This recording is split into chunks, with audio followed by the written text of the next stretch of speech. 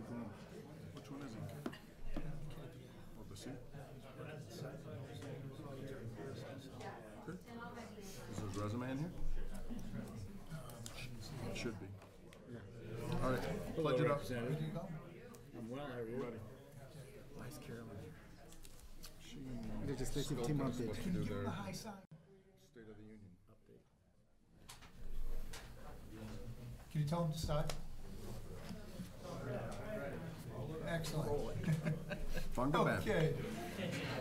Why are always school people? Welcome, everybody, to the Board of Selectmen meeting today, um, Tuesday, April 10th. This is a continuation of the Board of Selectmen meeting we opened up earlier in executive session for the purpose of approving um, executive session minutes to consider litigation strategy with respect to the petition of uh, Eversource Energy for zoning exemptions, because a uh, open session would be detrimental to the litigating position of the board, and also to consider the purchase, sale, and lease of uh, real property in relation to Town Hall and we had Norman, uh, Norman Khumalo and Elaine Lazarus with us. And now we're opening it in, uh, big, uh, out of executive session and public session, and we should start with the uh, pledge of allegiance. Is there anybody in the audience who wants to lead us to the pledge of allegiance? You wanna come up down the aisle? Tiffany. Okay.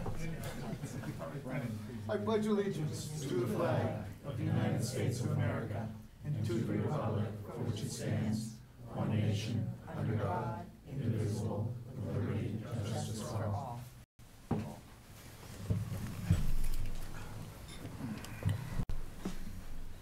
Okay, public forum. Residents are invited to share ideas, opinions, or ask questions regarding town government. Anybody up there? Oh, come on up.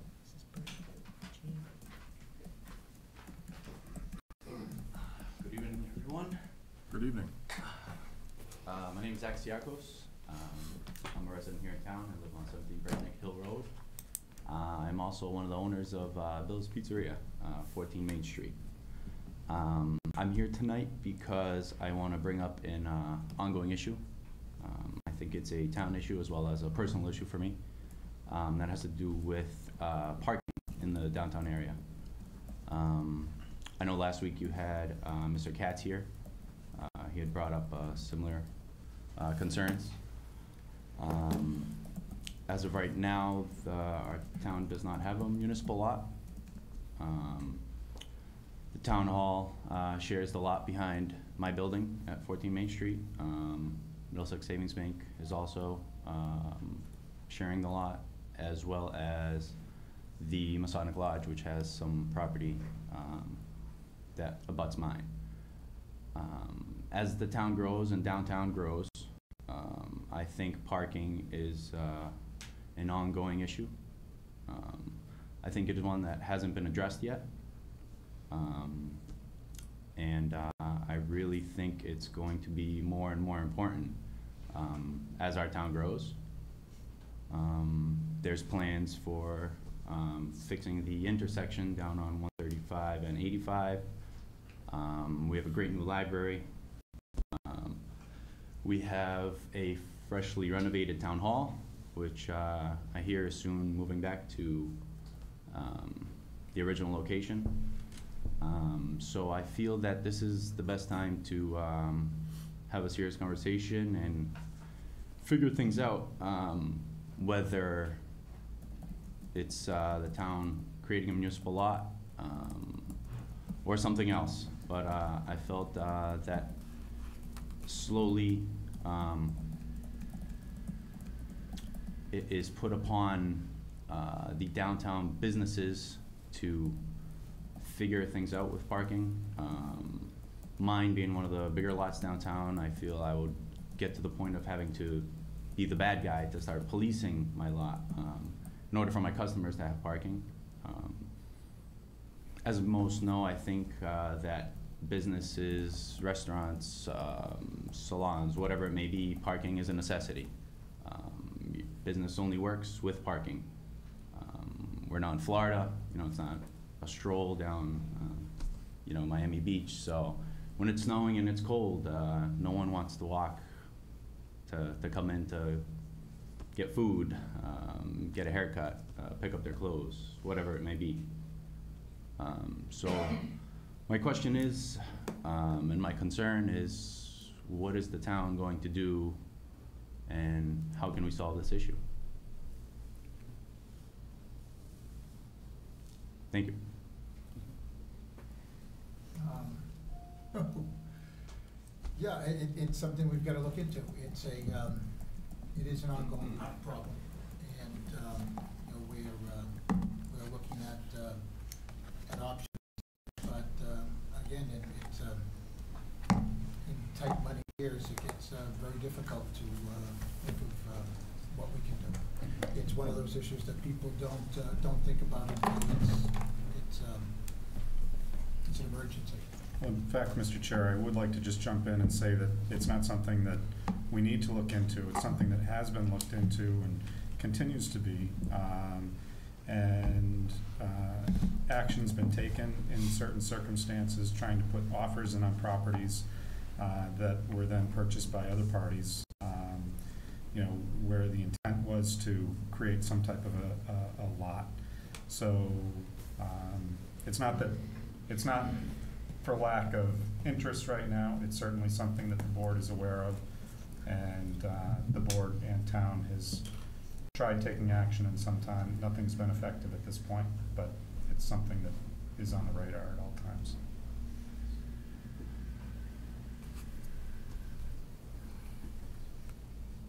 That's the best we can give you right now. That's the best. Mm-hmm. Okay, thank you for your time. Parking garage, it's in your spot. Hello. As you know, um, I'm Jean Bertschmann, I'm the chair of the school committee, and I'm here to speak to you tonight regarding the school committee's request that the turf field project be put on the ballot for May 21st. Um, As you know, we voted on March 29th to move forward with a capital request for a turf field project at a cost to the town of $1.3 million, or less than $25 a year to the average taxpayer for a period of 10 years. The school committee has also requested that the turf field be placed on the ballot so that it can be funded as a debt exclusion. Failure to do so will necessitate the project being voted at town meeting as a borrowing within the levy limit. So how did we get here? The school committee first proposed this article last year, but withdrew it on town meeting floor to ad- allow additional time for application for grant funding from CPC, permitting through Concom, additional public forums and outreach to youth sports organizations in the broader community, precise bids from contractors, development of a management partnership agreement with Parks and Rec, and calculation of a tax impact based on the average house value. All of those steps have now been successfully completed. We've had a series of public forums with another one tomorrow evening at seven o'clock at the high school in the library. CPC has approved a grant of one point seven million dollars to fund this project, cutting the project cost in half, and we're working to further reduce that through sponsorships and community donations. Concom has approved all of the permitting. The school committee and Parks and Rec have a de- detailed and comprehensive management agreement for joint oversight and use of the fields. The bid process has been completed and awarded contingent upon approval at town meeting. Outreach to other groups, including the chamber and the town health agent, have been on- ongoing. Capital Improvements has approved the article, and it's, the review is currently underway by appropriations. As you know, the town of Hopkinton is governed by a charter which identifies town meeting as the legislative branch of the town, open to all registered voters. The charter preserves the right of any town board to submit warrant articles to be deliberated and decided upon by the voters. The school committee has exercised its rights granted both, both by the charter and mass general laws to bring this project forward to the town for consideration. If the project will be funded as a debt exclusion, the additional step of a vote at the ballot is required for funding to be secured. Discussion at your last meeting suggested a forthcoming unilateral decision by the Board of Selectmen not to allow that to go forward. That decision would be in direct conflict with the spirit of the charter and an overreach into the purview and authority of the school committee. And this would be the second time that you have done that. This project is not simply a school project. This is a community project located at the schools. It's been developed by a committee with representation from the Board of Selectmen, Parks and Rec, Appropriations, Capital Improvements, and community membership, as well as the schools. As you've heard over the last several days, this is project that residents want the opportunity to vote on, and it's their absolute right to do so. I've asked our athletic director to come to explain to you the current constraints to student athletes caused by the lack of turf fields and complicated by the vagaries of New England weather. I've asked Parks and Rec to speak to you regarding the impact to their programming of the current situation where they serve as a backup to the schools, as well as the opportunities that the turf fields offer to the town in terms of revenue, um, not just for Parks and Rec, but also for downtown businesses. Similarly, you- you'll hear from the, um, excuse me, the boards of several youth organizations regarding the importance of, of this project to the children that they serve. And while we all wear different hats, we all have the same message to you. Please let the voters exercise their democratic right to vote on this project. Thank you.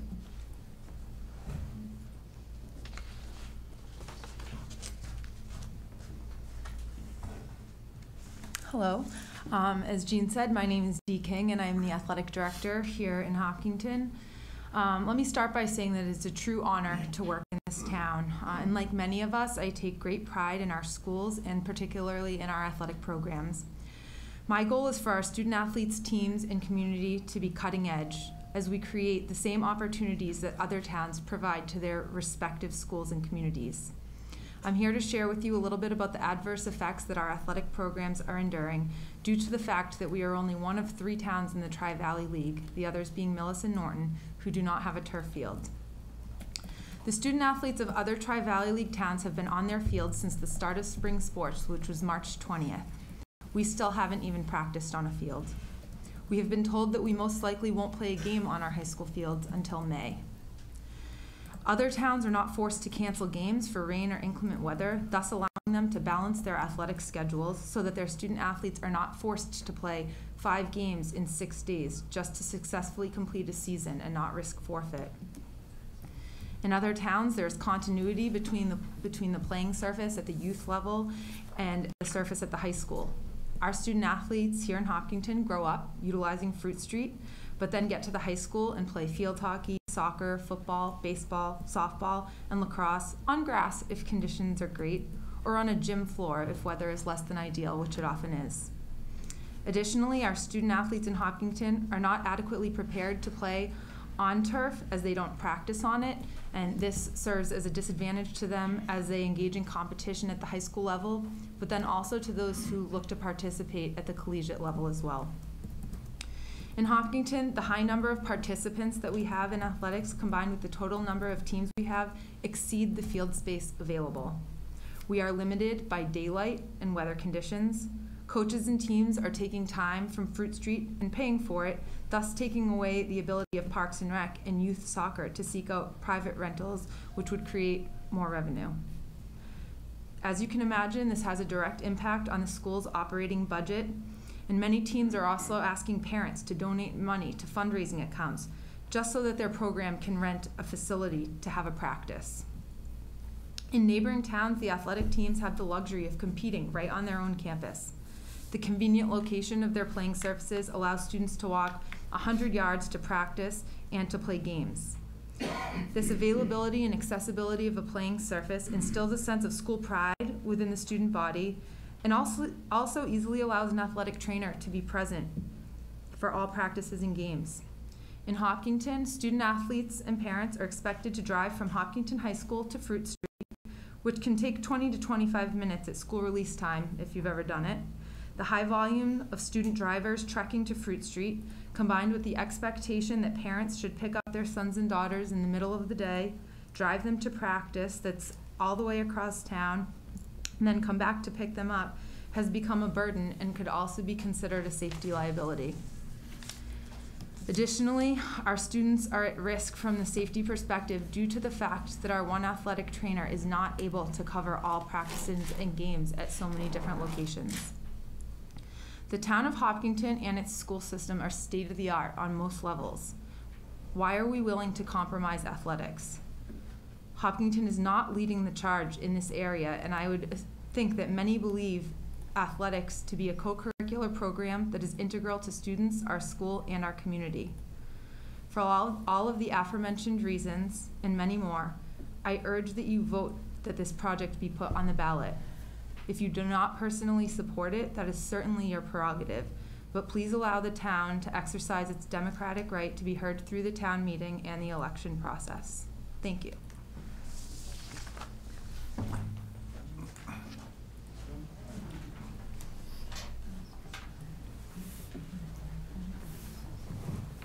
I'll be a lot quicker. I didn't prepare anything. I'm Dan Terry, I'm chairman of the, I'm Dan Terry, I'm chairman of the Parks and Rec Commission. And um, it's, it's been, uh, with regards to the fields, I can tell you that it's been a pleasure to um, help the schools use the Fruit Street fields and do that, but it has not been without an impact on our other youth programs. Um, I know Amy Nick from Hopkins Youth Soccer is here to speak about how many families are, are, are- using the fields at Fruit Street and, and how the, um, the, the school's use of those fields have, has created, uh, a, a situation where they've had to compromise. I think there, I know that there are other youth groups as well that have had to compromise in order to accommodate the schools, um, being on there. And, and, and, um, we're very fortunate that these groups are, are willing to make these compromises. Um, I, I, I know that they've got other great points. Jean and Dee had excellent points. I agree with all of them. Parks and Rec Commission supports this. We feel like it is a community asset. Um, and I just encourage you to, to put, the- to allow the town to vote on this, um, at, at both the election and on the ballot. Um, I, would like to mention, I know we as a board have received many, many emails in the last week over the issue of the turf fields and the ballot. And I, I think the clarification needs to be made because there is, a- is misunderstanding. I had misunderstanding as well. Um, This was clarified for me by the town manager as to what would be voted on the ballot. And my understanding of what would be voted on the ballot is not an up or down vote for or against the turf fields. What would be voted on the ballot is how we as a town ought to pay for it. Whether it be paid for as a debt exclusion, which means it's outside of the regular constraints of our Proposition two and a half levy, or whether it is paid for within our existing levy limit.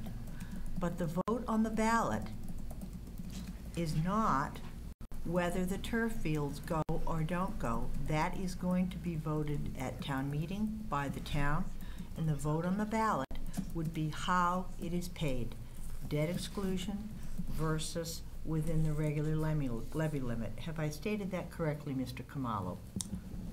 Yes, you have.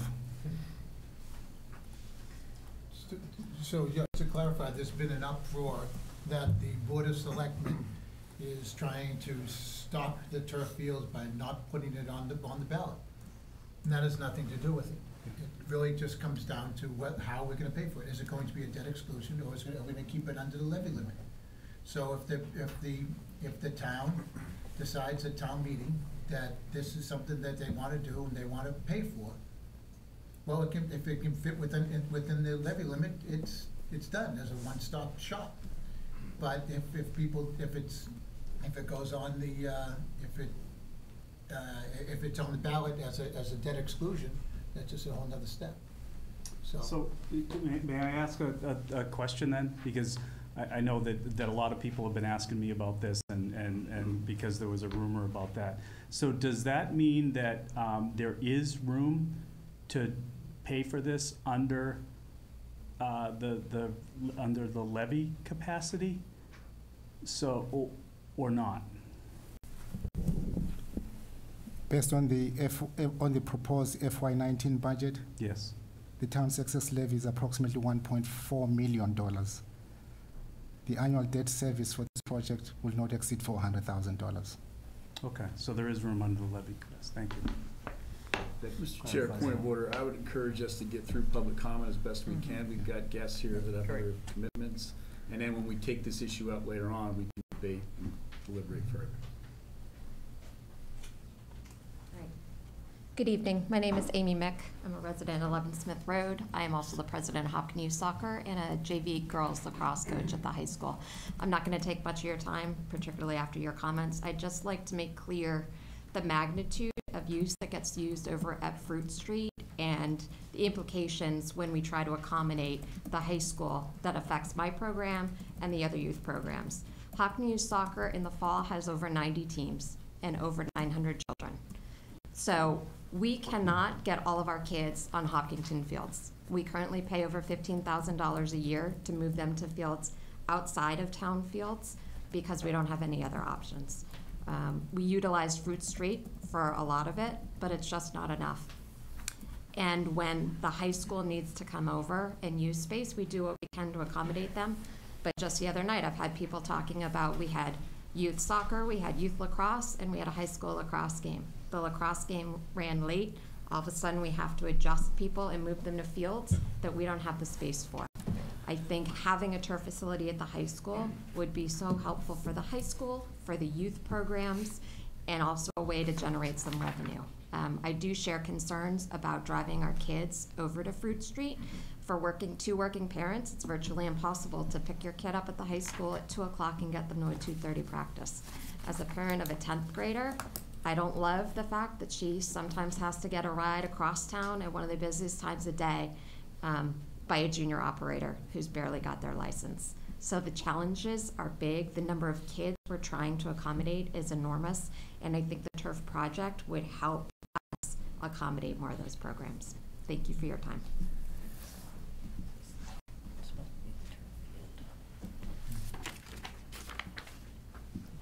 Good evening. Uh, my name is Jason Mahone. I'm the president of Hopkinton Little League. I live at 20 Grove Street. Um, I'll be even more brief than Amy. Um, we are one of those youth groups that will benefit uh, uh, tangentially to this program. We won't be one of the primary consumers uh, by any stretch, but it would be great for our program of over 700 kids um, to be able to get out on the fields uh, in seasons like this where we haven't been able to get on the grass fields uh, for the last two weeks. It would be spectacular to have this kind of accessibility, or this access to this kind of a project. Um, in addition, uh, we run a big tournament in the summer, uh, the Sizzler tournament. We have over 400 kids from outside of Hopkinton attend uh, those tournaments, uh, those tournament games. Um, I, I, think it brings in, uh, probably brings in a fair amount of revenue to town. I think it would be a, nice, uh, nice uh, tool to be able to show off the town a little bit um, if we had that kind of facility available for that tournament. Um, I think it would be a great addition. Um, so I strongly support this uh, project, and we would love to see it come to a vote. Thank you very much.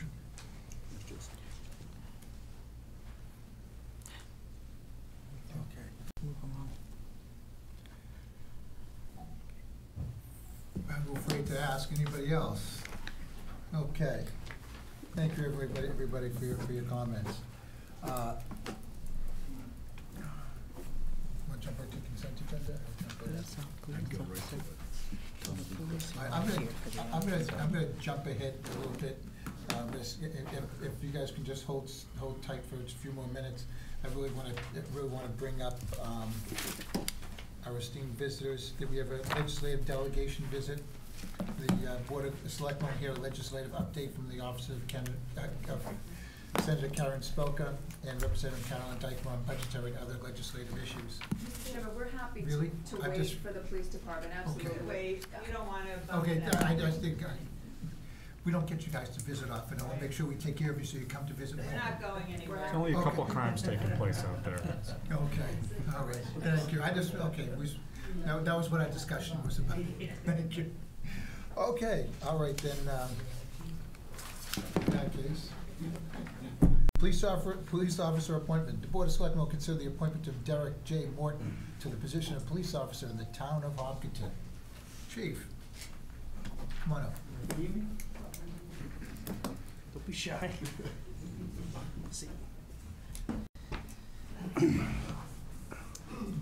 Well, it's my pleasure to uh, introduce you to Derek J. Morton for your consideration for appointment for the position of police officer. Derek is a replacement officer for an officer that left us to go to Franklin. We just took someone from Sherborn, lost one to Franklin, now we're getting Derek from Sutton. I feel like uh, Bill Belichick and free agency. But uh, Derek has over a year and a half of police experience with the Sutton Police Department, served eight years in the Army National Guard as a military police officer. He has a background in substance abuse treatment. He was a director for Spectrum Health for one of their programs. Uh, that really came out in one of his, interview when he talked about you know his passion working with people with addiction problems, and uh, that's one thing we're definitely looking for police officers, someone that has a little empathy and understanding for people, and that certainly helped him in uh, obtaining this job. Um, another thing I'd like to mention, doing his background, we learned he received uh, multiple commendations from the Sutton Police Department in his short career there, and uh, we think he's going to be an excellent addition to the department. Derek? Thank you, Chief. Welcome. Thank you. As the chief mentioned, uh, I s- served uh, several years in the uh, military as a military police officer, um, and then also worked uh, about six years in human services, uh, starting out in the mental health field, and then eventually being a program director working with substance abuse. Um, Was able to, through all that uh, work experience and training, finally able to put myself through the academy um, and become a police officer, where I served the last year and a half in Sutton, and uh, now great to be uh, here in Hopkinton. Welcome, thank you very Thank much. you. Mr. Herr. The process to select our police officers is always very rigorous, and I know the chief uh, and his colleagues do an excellent job with this process, so I'm very comfortable with, uh, with you coming on board, and I'm Thank you. excited to have you in town, and uh, I think it's gonna be a great addition to the department, and welcome. We're- Thank you. We're we're lucky to have you. Thank you. Appreciate it. Mrs. Sorry. Uh, yeah, I'll just echo the words of Mr. Herr. Um, you know, we want to welcome you aboard. Um, Chief has brought on some, uh, excellent recruits and, uh, people with experience as well over the last few years, and, uh, we're looking forward to having you around. Thank you. Ms. Wright. Well, welcome, Derek. We hope you'll be happy here. Um, We're very pleased to have you join the force, and you have some excellent credentials, and we know that Chief Lee has a good eye. Um, He, he makes some good choices for us, and uh, I, I must say, hearing your credentials, I am both pleased and sorry at the same time that some of those excellent credentials on substance abuse unfortunately, are something that we are needing more and more in our community. Um, I'm pleased that you have them. I'm sorry that we have to say that, but we all know uh, the challenges that communities are having everywhere. It's always interesting to read the police log, and, uh, you know, we get a good laugh out of the squirrels in the basement and the, and the possums in the pantry, but unfortunately, too many of them nowadays are, are pertaining to substance abuse. Um, so we're really glad to have you, and particularly glad to have your, your experience in, in this uh, very important area. Welcome to Hopkins. Thank you very much. Yeah, so to echo everybody else's sentiments, uh, I feel the same way. Um, It's nice to see some of these new guys coming on, that you're relatively new as a police officer. Bad part is when we have some of the older ones, the ones that have been here for a long time. You're replacing kind of the, the ebb and flow. So to see Phil Powers out there was, probably gave me the only ticket I've ever got in Hopkins, knowing that he's, he's gonna, well, so far, I guess I'll have a long run home. Um, um, You know, to know that he's gonna be sitting on that seat pretty soon, and, and we're gonna say goodbye to him and have, bring in someone else in, it's a, it's, a- it's nice to see that the chief's doing such a good job bringing in such qualified, uh, candidates. And, uh, you know, welcome to Hopkinton, you're, you made the varsity team, you got rid of the JV Sutton squad. So, uh, Thank you. welcome aboard, thank you. Welcome, Derek. Officer Morton, welcome. Thank you very much. I, um, I'm just glad that somebody that he didn't go to school with, that we're bringing in, you know, somebody. I mean, there's people here I went to school with their fathers. Okay, well, that's true, true. Yeah, but uh, really, uh, thank you very much. Congratulations for, for, uh, for getting through the gauntlet. And actually, it's just beginning. I- we- we- you're gonna be riding with somebody too for a while, isn't it? Isn't it? Yes, he'll, uh, even though he has experience as a police officer, he has to go through the uh, FTO field training program for Hopkinton PD. Excellent, excellent. Yeah, because, you know, just like we were saying, this, we, we love Officer Phil, but this is, you know, we, we still want, uh, the, uh, the community policing with the, uh, you know, the SROs in this town, it's just, it's so important, again, with your, with your background and and the opioids and everything else, it's just gonna be great to have you in town. So really, thank you very much for coming. Chief, congratulations on getting that great hire. Thank you. Appreciate it. Mr. Chair, I move the Board of Selectmen appoint Derek Morton to the position of police officer for the town of Hopkinton. Second. Any further discussion? Hearing none, all those in favor? Aye. Aye. Any opposed, any abstentions? Welcome, thanks so much. Thank you very much. Thanks, Chief.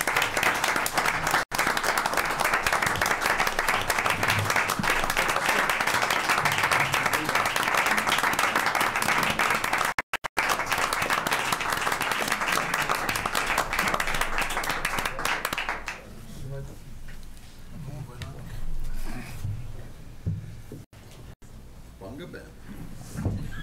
Okay. All right, consent agenda. Uh, Board of Selectmen consider approving the uh, 32718, 32918, and the 43 Board of Selectmen minutes. The uh, second one is the ambulance fund gifts. The Board of Selectmen consider approving uh, $100 ambulance fund gift from David and Norman L. McMillan of 108 Main Street, Hopkinton, Mass. And a parade permit. Board of Selectmen consider approving a parade permit for uh, Amanda Robichaux for the Secretary of the Hopkinton Little League for the Open Day Parade on Sunday, April twenty-second at eleven AM. There is no rain date for this event. And then fourth, a special temporary alcohol license, again, for the Hopkinton Little League.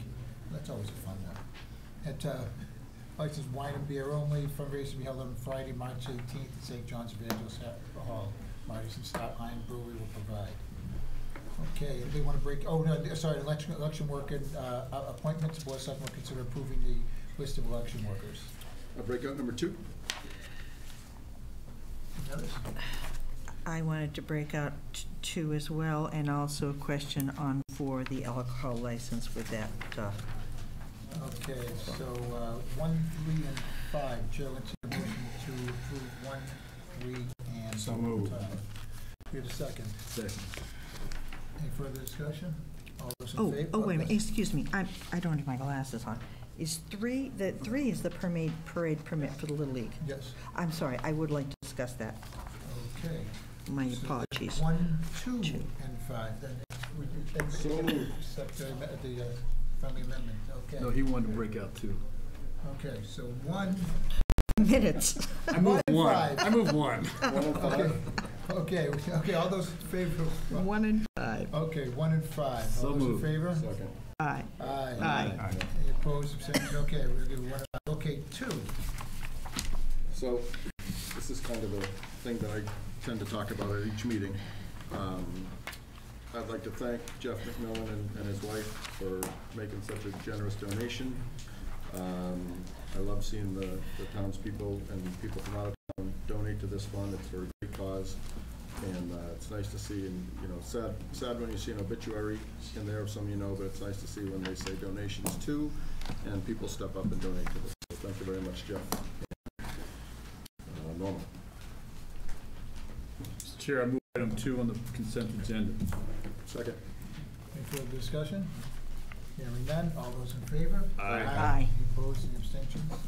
Passes. Okay, number three, Ms. Wright. Yes, um, I mean, what's not to love about the Little League? We love the Little League, this is a fun event. Um, so I, you know, it's not that I have a concern about the Little League itself. Um, I did have discussion a bit with Ms. Robichaud about the timing, and I'm hoping that another year that might be considered that holding it within that 10, 11 o'clock hour is, is the hour that many of our, particularly our Protestant churches, have their worship services, and, and I, I still am concerned about Sundays being sacred, so I, I am hoping that another year that might be adjusted a bit.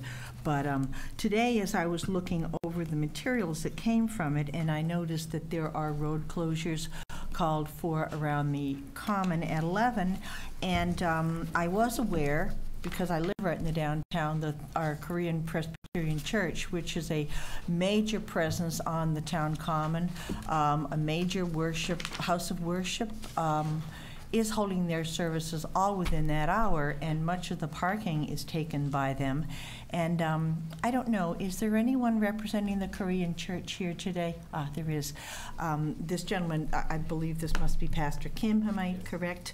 Um, I spoke with Pastor Kim earlier today and, and asked if he had been at all consulted about the road closures and was quite surprised, and, and I guess I would say a little embarrassed on the part of our town that no one had contacted the pastor about the impact of closing off this area um, during peak service hours. Um, So I don't know if Pastor Kim wants to comment at all, but I I would like to see if there's a way we can, whether it's with the police and detouring, um, accommodate this, because I am concerned that um, a group of 700 people in a road closure in the middle of the, of the church's services, um, you know, just, just might create some problems. So I know the pastor's here, uh, he, he might be better to, better speak to how this impacts the congregation, what we might do. Well, Ms. Wright, um, I've been uh, privy to this parade for a long time, and I know that the, uh, the road closure, so I, I think seven hundred is probably, that probably includes all the spectators as well as uh, maybe some of their families that aren't gonna be there. Seven hundred is a, I think, a high number based on last year's. And I think that the amount of time that the Main Street is closed is to get to that particular venue, the, the the Korean Presbyterian Church, is probably less than twelve minutes, maybe fifteen minutes, based on last year. So, you know, it- yes, Main Street itself will be closed for that fifteen minutes or so while they come up, but you can always come across Fenton, and you know that area as well as anybody. And, and, um, you know, the, the people are, are going two-way traffic right, right up until the parade starts, where they could come in and take a left under, under the Korean church, as well as, once it goes by, um, for those ten or fifteen minutes. But I understand your point, that they haven't been contacted, so. I- I'm didn't not all wanna- that familiar with, uh, with how it runs, but it just caught my eye immediately that this is right smack at the time Yeah. that they're holding their So they all services. congregate on the common, do their pictures, run around, do their thing. Why don't you speak to the pastor, because Okay. he's the one that's So, concerned. so they all kind of, I don't know if you're familiar with the parade or not, but they've, you know, historically, they all kind of congregate and kids do their thing, get their pictures taken. They don't close the road until they're, you know, they assemble on the common, and then they close the road for the ten minutes it takes to walk by. As soon as you're, as soon as that last marcher is past Hayden Rowe, that's open again. So it's only a matter of ten or fifteen minutes. Historically, I know, I don't know, I, I'm not involved with the Little League other than having two kids as participants. And maybe the enrollment is much higher this year than, than, say, last year, but last year was the first time I'd been there, probably in the last seven or eight years, and it was probably a ten or fifteen minute amount of time that that road would be closed. And that may impact you greatly, I don't know, but I'm just simply painting a picture. Um, yeah, I'm currently youth pastor and also associate pastor, and senior pastor is absent for the mission in Haiti. Um, our main service is 11 o'clock, and people come to church uh, right before, or some congregation members like five minutes late or so. Um, the best solution, probably, I thought about that, and uh, it prayed. I mean, starts at 11:30 a.m could give us great um, access um, to park and then getting into the uh, worship sanctuary. Or um, I'm not really sure can uh, how many how much time you need to prepare and gathering um, for the parade. If you can start 11:30 a.m. I- I'm not really sure which one is better, but um, could you consider um, kind of a time um, change. Is there anyone here representing the applicant? Oh, great, thanks, go ahead. I'm happy to. I'm hoping we can, maybe next year this will get worked out ahead of time, so we're not Yeah, here. yeah, I'm happy to have a conversation. Um, honestly, the issue had never been raised before. Um, we've been doing this, we've been doing this parade as long as I've been involved. You know, this is my seventh year. Uh, Brendan's been involved for way longer than that, um, or at least seen it. Um, so I'm happy to discuss, you know, options that'll, that'll fix the problem for you guys. Was, it- and I don't wanna get it, I don't think this is the place for a full-on discussion, but, you know, if there were issues last year, I'm happy to re- resolve them, so. Shouldn't be too big a, shouldn't be too big a problem to fix. Okay, so, So I would suggest that maybe because Pastor Kim would at least like to be able to notify his congregants maybe this Sunday morning, so they're aware of some alterations, perhaps uh, coordination with the police. I, I read something about detours or whatever. There, there's certainly a way around, you know, going up around the side streets and coming back through, so there'd be some notification. um, so- If I could, truthfully, I think it's gonna take more time to set up the detours than it would to just close the street for, as he said, ten or fifteen minutes. Mm. Um, it'd probably be counterproductive. We, c- I'm sure we could sort out a way to, to make it work that's minimally invasive for everybody.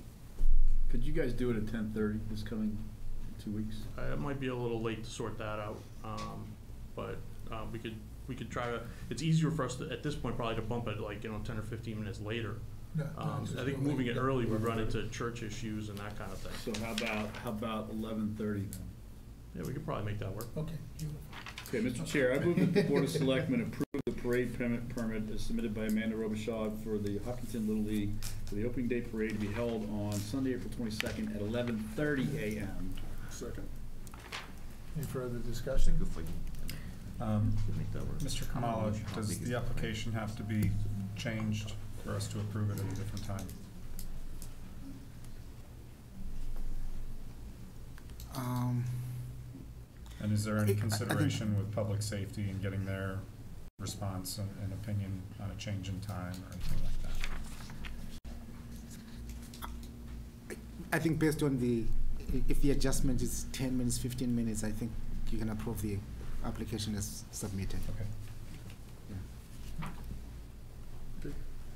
All those in favor? Aye. Aye. Opposed, abstained?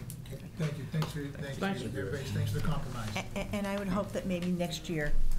Work this out so that we find a time. Sure, like I said, we've done it historically and nobody's ever said Yeah, anything. I, I don't know. I Happy to, happy aware to of this. accommodate when we can. This is, this is also, and, and this isn't meant strictly toward Little League, but this is also why the application is supposed to be submitted at least thirty days in advance, so that these things can be worked Right, out. right, so. yeah. Oh, he's the, is he the alcohol license too? Because he just left. Although it actually looks like it was, so. Okay, number four, Board of Selectmen will consider approving special temporary alcohol license for Jason Mahan at uh, behalf of the Hopkinton Little League for temporary alcohol license. Wines and malts only at uh, Friday, May eighteenth at St. John's Evan- Evangelist Parish Hall, from seven to eleven P M. Okay, who pulled this one? Four? I, I did. There were questions on the, oh, here we go. Yeah. Okay. Jason, come on up. We did it again. I guess I'm no Can you longer- change this time too? No. Okay, go ahead. My only question, based on the comments that came back from our permitting team, uh, the police department had uh, requested that there be a detail officer for this number of people. Has that been arranged? Yes. Okay. Yeah, we Check. worked with Officer Porter, I believe, on that. Excellent. And um, at the time we got our materials from Maria, the uh, floor plan, the fire department had said they cou- they couldn't read it, so they couldn't respond. Did you get them a better Yep. copy? Are Yeah, they they're all with set. that? It's, wor- they're, they're clear, ready to go. Okay. Police is happy, fireman's happy, I'm happy, just checking off the boxes. Thank you. Yeah, I'm just glad that it's not in uh, Milford this year. They've got to have it in Hopkinton. Oh, We've had it in Milford before. okay. Trying to Thank keep it you. local. Thank you. Yeah, Mr. Chair, I would like to move to approve the um, fundraising permit as submitted. Okay, here it is, first motion, uh, special temporary license, yes, okay. Yeah, That, that, as written? As written. Excellent. Second. Okay, any further discussion? All those in favor? Aye. Opposed, any abstention? Motion passes. Thanks very much. Thank you. Okay, Board of Selectmen will consider approving the list of election workers. I have my list out. We did that, didn't we? Oh, We already Oh, we did, approved oh, we that did was consent, yes. beautiful. All right, then, let's, come on up, please. Senator Spilka, thank you very much. Representative Dykema. Representative Dyke, well, I know, Hello. we would do what they want to do. Good Thank you, evening, welcome. good Thank evening, how are very you? much. See you all. See you. Hi. Thanks, thanks for coming. This is always, this is always a treat for us. So please. Uh, If, if I could, Mr. Chairman, um, you know the protocol, wh- where House members generally follow Senate members, and we certainly always defer to our Senate colleagues to go first. But I did just want to recognize our Senator Karen Spilka. As many of you know, she um, is the impending Senate President for the Commonwealth of Massachusetts, which is very exciting, uh, not only for us here in our district that she represents, but also for her family and for the Senate. So I just wanted to publicly congratulate her and acknowledge this exciting new role that she's going to be playing, which will be wonderful for all, for all of us.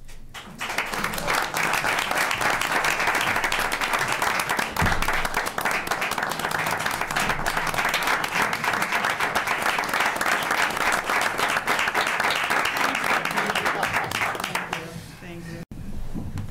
I just want to thank Carolyn and thank all of you. I feel um, humbled by it, by my colleagues' uh, vote of support, but I also want to thank all of you, uh, the Board of Selectmen, the town administrator, and and the folks that are here, and especially my colleagues in the House, um, in the- in in the district and beyond. This is really a team effort and no one person can do all of this alone. So I thank publicly Carolyn for being a great uh, colleague and friend and team player and the other uh, representatives and, and senators in, in this area. Uh, I feel like over the last few years, we really have put Metro West on the map.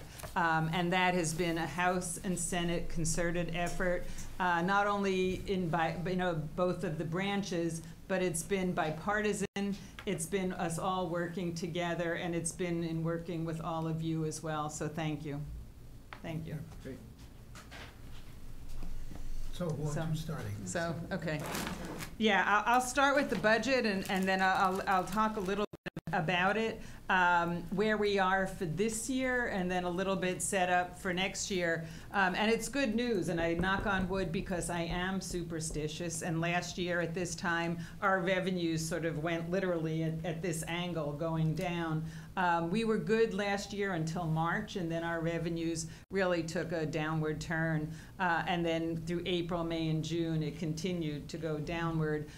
At this point, for this current fiscal year, fiscal 18, we are almost $900 million above benchmark. This is after, if you remember, the House did a budget in April, the Senate in May, and the first week in June, we realized we had to cut about $830 million from our joint budget. So we had to cut a lot of programs and services that both of the houses had tried to initiate or add to. We did hold harmless uh, unrestricted local aid and Chapter 70, but some of the other areas, even in education, whether it be charter reimbursement or, or other things, uh, did not get the increases that we wanted to, to give. So we are in good shape. We, um, as I said, are 900 million above benchmark uh, by the end of March. Some of that we anticipate to, to um, go a little bit lower. For example, in December, a lot of people filed their taxes that would have filed in April, but they filed in December to take advantage of some of the federal uh, tax credits. So we anticipate April will be a month that is usually not as, as good as it, as it usually is. But still, uh, you know, my feeling is even if we're 300 to 500 million above benchmark, it's a lot better than it was the last two years. And so we are looking at next year and hoping to add for, for next year. Um, we did a, uh, the House did a supplemental budget for this year, and, and I'll let Carolyn talk um, about the House's version. I know that in working a little bit with the House Chair Ways and Means, we talked about adding some things that would help our communities for this year. For example, a special education circuit breaker. Um, it came out, we thought last year when we were funding it, we thought it was going to be at the 72% reimbursement rate. And it turned out that when the state looked at all the numbers, the numbers came in a lot higher, so it's actually at 68. So we will be increasing that, so Hopkinton will get some funds um, in addition to what it got, and there may be other areas, so that's good news. Um, and looking at for, for next year, um, the House it's coming out with the budget tomorrow, I think. Um, and then the Senate will do, will do our budget in May and, and again, look to a conference committee budget in, um, in, uh, in June. Um, there are other bills that we've been doing, uh, the DCAMM bond bill, um, that we were able to, to get two, a $2 million authorization to help for the town hall. um, that if that's something that, that the town uh, wants to access, we can be, Carolyn and I can be working with all of you to try to get that released over time to, to help the town fund um, the town hall renovations. Um, And as the budget goes through, we can be talking to you about other things that are important to the town. But there will be like an environmental bond bill coming up, so, so we, you know, we try to keep in mind what are some of the real needs for the town, so that when we have the opportunities, we can insert them into the bills and hopefully uh, help the town out with some more funding. Um, You know, I'll, I'll leave it at that for right now and turn it over If I can beg your indulgence for one second, we just have to open up a public hearing for a second. Sure. The chair uh, will entertain a motion to open the public hearing, amendment to the Farmer Series pouring permit license and entertainment license for Startline Brewing Company, uh, one fifty-one R Hayden Road. So moved. Second. All those in favor? Aye. And I would like to, um, to uh, hold off on the hearing for a few minutes to continue doing this. Everybody- Okay, wonderful. Okay, I beg everybody's indulgence, as we're just running a little bit late because of the beginning of this meeting, but we'll get, we'll try and get back on track. Thank you, sorry. Thank you, um, and thank you, Senator, and I'll just add a few other things and then certainly leave time for questions at the end. Um, As, as the Senator said, our House budget, initial budget is going to come out tomorrow. All uh, monetary um, bills start in the House, so we will be kind of the first step in the process, which will culminate, as you know, in July. Um, So uh, just to highlight a few, a few things, um, the revenues that, that the center had mentioned, you know, is always a challenge to work on projected revenues, which is what we always um, have to work with, you know, sort of based on, on past estimates and past realities to try and figure out where we are. And luckily, we're going to be hopefully in much better shape this year um, than we have in the past. And I will say that this year, you know, we were all pleased that we didn't, we avoided nine C cuts, which were the unfortunate local results of some of the, the budgeting challenges we had last year. Um, just in, in responding to local needs, I know one of the concerns that we heard uh, directly from a lot of our towns on was um, challenges with respect to circuit breaker and the special ed circuit breaker fund, which had, uh, because of some of these projections that weren't accurate, um, there was actually a shortfall in the circuit breaker, which usually is, is funded at about a reimbursement of about 73 to 74 percent. Um, based on the figure that was appropriated, it was down in the high 60s. So um, after a lot of advocacy on behalf of the towns, we, I'm really pleased that in the House, we um, voted on a supplemental budget which included an additional $12 million for circuit breaker to make sure the towns would be brought up to, again, about the 72, 73% reimbursement rate, which we know is incredibly um, important to the communities. And uh, on a follow-on to what the senator said, when we come into the budget process, obviously, um, when it comes to advocating for um, budget line items that are important, we always keep the local needs first, which would be the Chapter 70 funds for public education, as well as the circuit breaker reimbursement funds, uh, in addition to the unrestricted general government aid, all three of which we know kind of are, are the, the meat and potatoes of, of the funds that come into the town from the state. We'll be sure to be doing that as well. Um, the other thing, I know um, Hopkinton is very uh, veteran-friendly and veteran-supportive community. I thought I wanted to note that in the supplemental budget, um, the, there was additional uh, $5 million put in there to ensure that all of our veterans receiving 115 benefits are held whole. Um, and there was a shortfall in that, which was, was supplemented with this appropriation, which is uh, appropriate and certainly something we all want to do. I serve as the vice chair of the Committee on Transportation, and so I spend a lot of my time um, working on transportation issues in, ad- in addition to being uh, the House chair of our legislative caucus, which is a House and Senate caucus where we work on Metro West issues specifically together as a group and advocate. And um, one of the things we've been focusing on is commuter rail. Uh, I don't know how many of, of you may have heard from um, local residents about commuter rail challenges that we've faced over the last number of years. We have a new general manager, which creates a real opportunity for us to improve service. And um, the uh, state has also just commissioned a vision study for the commuter rail, which is long overdue, where we can start looking at uh, really creating a long-term map for improving our commuter rail service, both the frequency and the reliability of that service for those folks who commute into Boston, uh, and also hopefully relieving some of the congestion on the Mass Pike, which we also hear about a lot. And we're advocating as a local caucus for getting legislative representation actively in that visioning group so that we can represent the interests of our districts uh, in that conversation.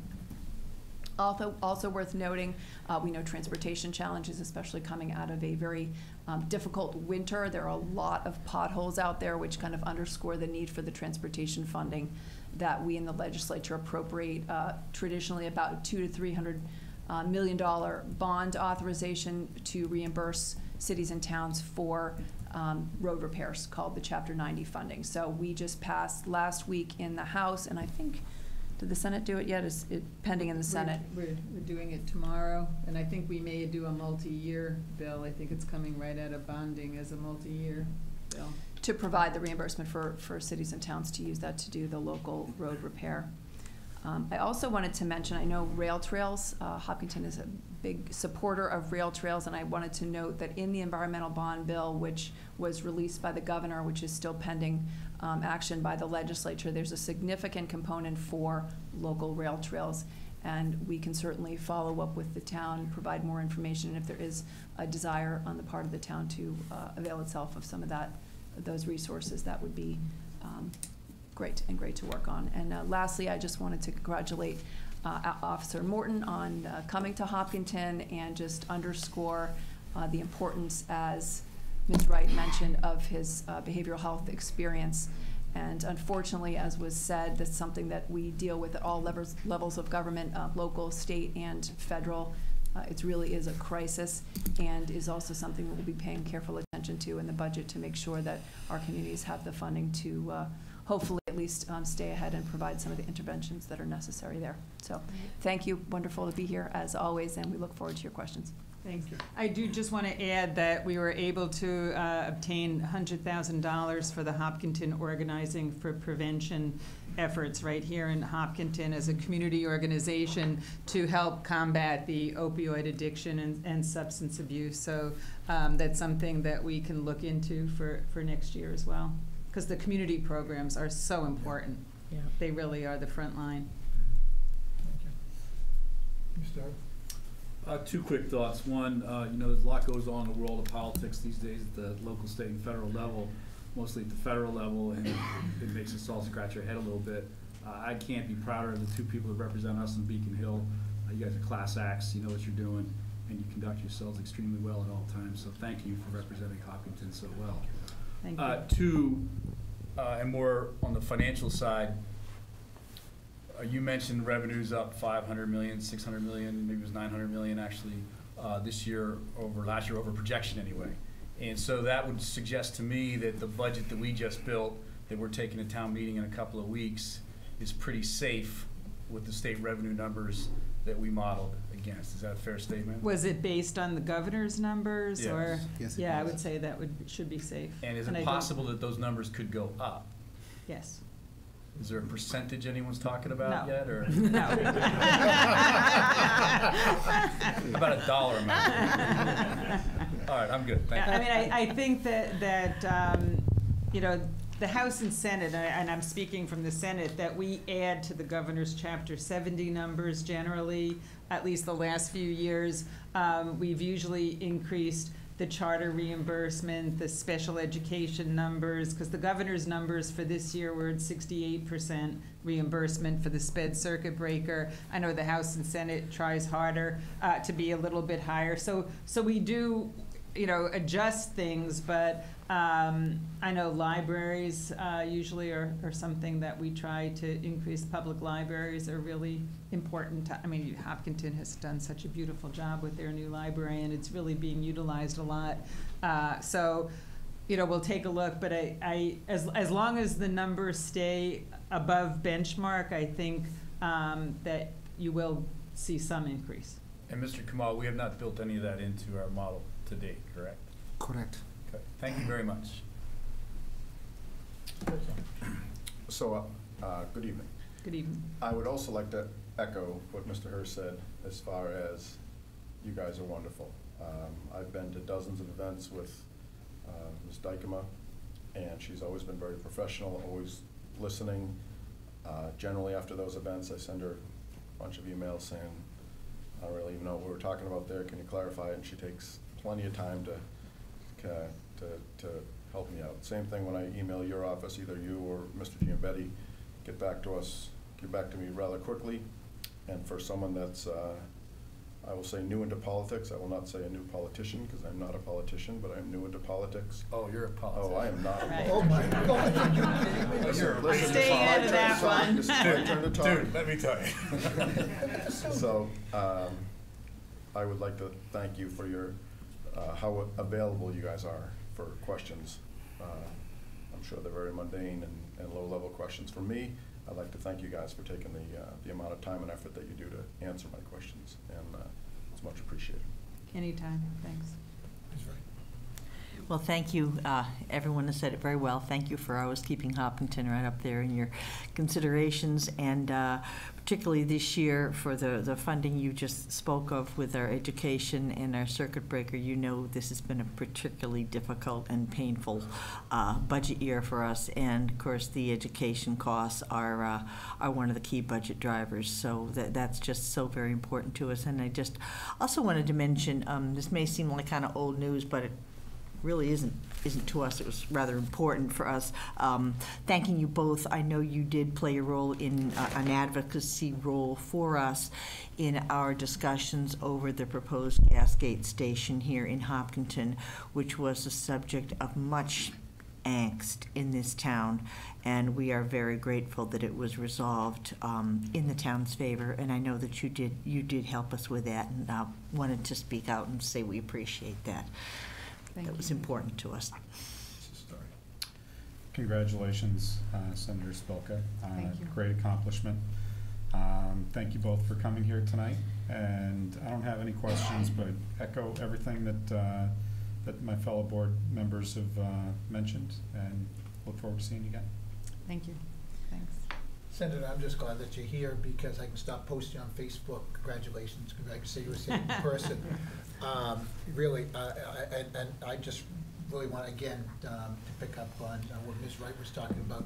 Without the two of you and, and your office, that, with that intimidating office that you have, um, bringing Eversource and, and the DPU people in there when Norman and I were going in to visit, that really helped. And, and, and that, that gas gate, um, where it's, you know, some people think it's a small thing, with all the big things that you guys must have on your plate. Um, it, it really, it was something very important to the town. It was, it frightened a lot of people. And, um, and, uh, because of the two of you, it, uh, it was resolved. So thank you from the bottom of my heart. Thank you very much. Um, the other one is the, the rail trail money. Really, that's, um, one of the things that when we ran into budget problems, it got, no, we had, a- we had people that, uh, came in front of us a, a couple months ago and, and, uh, brought to light that we don't have a budget at all in our town for taking up trails. It's all done voluntarily. And, um, we really have to, um, look into that and, and throw, really put some money into it too. Uh, because the people taking care of it uh, are elderly and, uh, we need the help. But so again, thank you for everything you do for us. Thank you for coming, thank you for your patience and, and. uh, It was fun to uh, watch. late. Could I have uh, uh, one last update, Mr. Chairman? I was remiss, I should have uh, mentioned this earlier, but the town had voted on a senior property tax exemption that I Mhm. know that was um, very important, and that required legislation that, that the Senator and I file and advance legislation to implement that vote of the voters. And I just wanted to give a quick update on where that stood. So it's House 4258, and we've been in close touch with the town manager's office, working with Norman on that. It was reported favorably out of committee, um, which is great news. It, it's now in the committee on third reading. There are a couple of minor things that we were back and forth with the town on to get straightened out before we um, really push to move it to the House floor, but we're actively working on that and hoping to get it done soon in the House so we can get it over to the Senate and hopefully uh, move quickly ahead with that. Should be able to.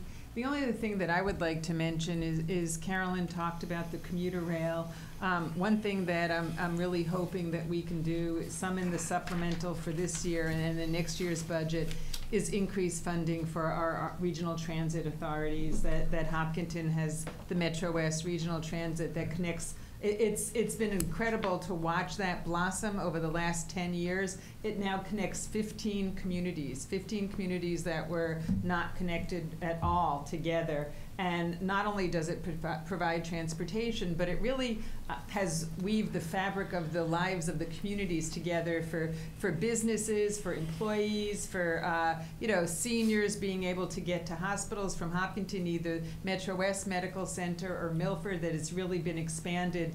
But there is no really weekend service or evening service and, and other things that, um, I think the Metro West RTA is an example of uh, a real jewel in the whole RTA system across the state, but it has a lot of uh, needs, and I think that Hopkinton and the other Metro West communities would benefit from uh, an infusion, and again, help people get off the road, or for people who cannot afford transportation or cannot drive, this really helps inc- increase their uh, self-sufficiency, their pr- is le- less isolation, and just, eh, you know, everybody benefits, so that's something that I'm hoping that we can focus on over the coming months as well.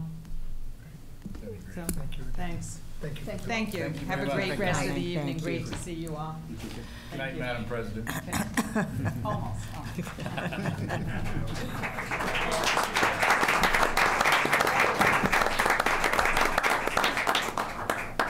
Okay, let's, uh, like to reopen the, the, uh, public hearing for the uh, Farmer Series pouring permit, uh, license and entertainment license, Start Line Brewing Company.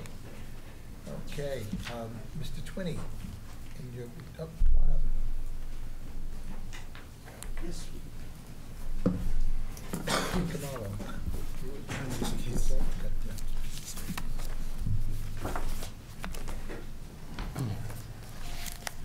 Good evening. I'm John P. Connell. I'm the lawyer for the applicant, Startline Brewing Company. Uh, To my immediate right is Ted Twinney, the owner. And to my far right is Phil Zara, the landlord. We're here tonight to apply to expand uh, the liquor license pouring permit premise in the property to basically be the entire property with a patio out back.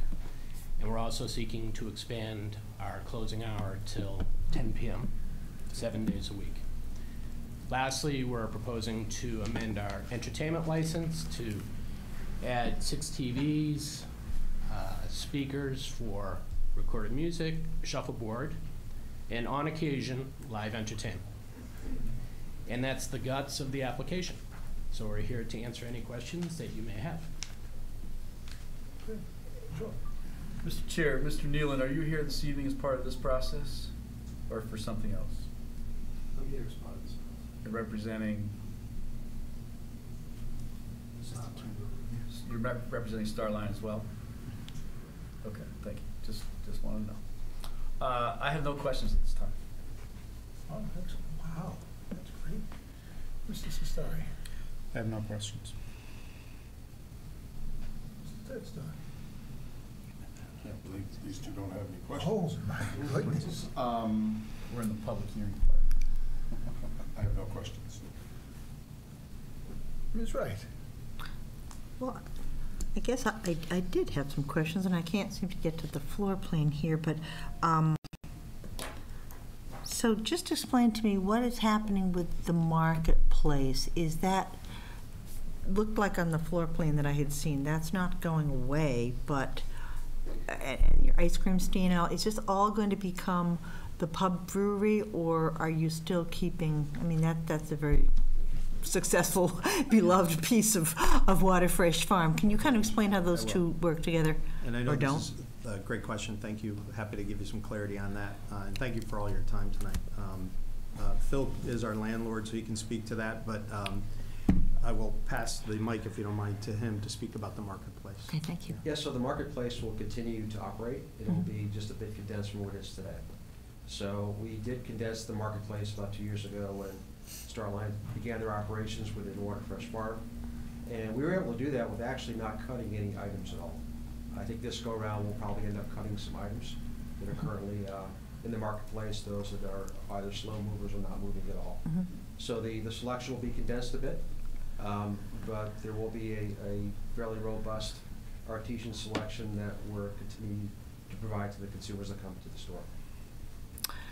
So your upstairs area, that will stay the same? That was like a That's sort of correct. That's coffee primarily shop office area? space for, for the business. Okay. There's no public access to that space upstairs.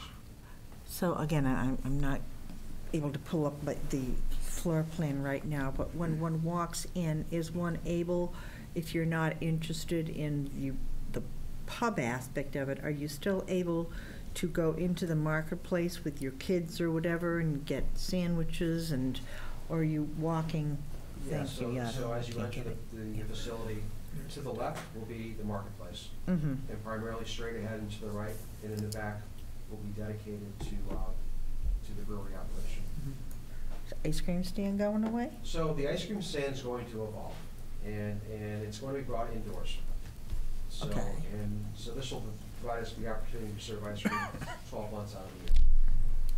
Yeah, and, and I don't mean to hog the time, but, and this is more of putting my old planning board hat on, so it's probably not really even my business, but I remember being on the planning board at the time that the general site was approved, and there was another section of parking not to be built, but could be built if it was needed. Correct. Um, how does this expansion fit with your current parking? Are you adequate? Do you need to use that extra area, or, um, Yeah, so we're, we're gonna stay within the current envelope that was presented to the planning board years ago. Right. Uh, there'll be some employee and green spaces added to what you mentioned to. I Mhm. think the only, the total added spots is twenty-some Yeah, extra spots. I think it's 24 additional spots. Right, 24 additional w- within the existing area? correct. Okay, so even though, even though there's a whole separate area, you didn't fully build out That's the correct. existing? That's correct. Okay. It was a lot, if I remember when we were up. Right, no, I, re- I Yeah. remember, but I always remember there was that, that reserve section that was That's not, correct. was not built, but you're, but If you're. I may add additionally to the, the change in the marketplace is there's currently a liquor store component to the marketplace, Mhm. and that will be going away. So we currently, Okay. Waterfresh Farm currently holds a section fifteen license Mhm. for beer and and wine. And we will surrender that license once this expansion takes place. I have one more question, if I may. Um, And I was interested to see, we received very many, many, many letters, um, you know, pretty much all in support, so that speaks very well to you. Um, I was concerned that, you know, there'd be a butter notification because I wanted to hear from people that lived in the area. Uh, You have a lot of fans throughout town, but sometimes it's different when you're the, when you're the neighbor next door. Uh, And and I was, um, you know, quite pleased to see that I didn't see any, any of the concern letters that I thought I might Well, from it's you. interesting, you- you mentioned families coming in, and one of the learnings that we've had is, you know, as, as Ted has built out this business, is the demographics of the people walking in. And it's really, even in the taproom space, it's become a, a family environment, so Mhm. we, we see a range from infants to grandparents and everything in between, so it's really Mhm. become a nice setting, and a gathering place, and Mhm. folks are enjoying it. Mhm. Well, just to the question of neighbors, and as I said, I did not see, you know, concerns on the part of neighbors, and that speaks very well to you. I know you've been great, you've been good neighbors, I think, and you've been a wonderful addition to the community, and that, that's certainly evidenced by the outpouring of support letters we got. Um, I did have a question, though, on your patio area. It said in the description that it was enclosed by walls. I wasn't sure, is there a roof, or is it, is it enclosed, but it's still outside and open? I'm we're- thinking we're about basically noise and sounds. retrofitting one of the greenhouse bays. Yeah. Where the roof's going to be removed. Okay, so it will be open, t- open to the air? Open to the air, but not visible from the street. Uh-huh. Okay, so presumably, s- whatever sound there is would be somewhat contained by, by the walls. It won't, it will be somewhat open, but not entirely. Correct, correct.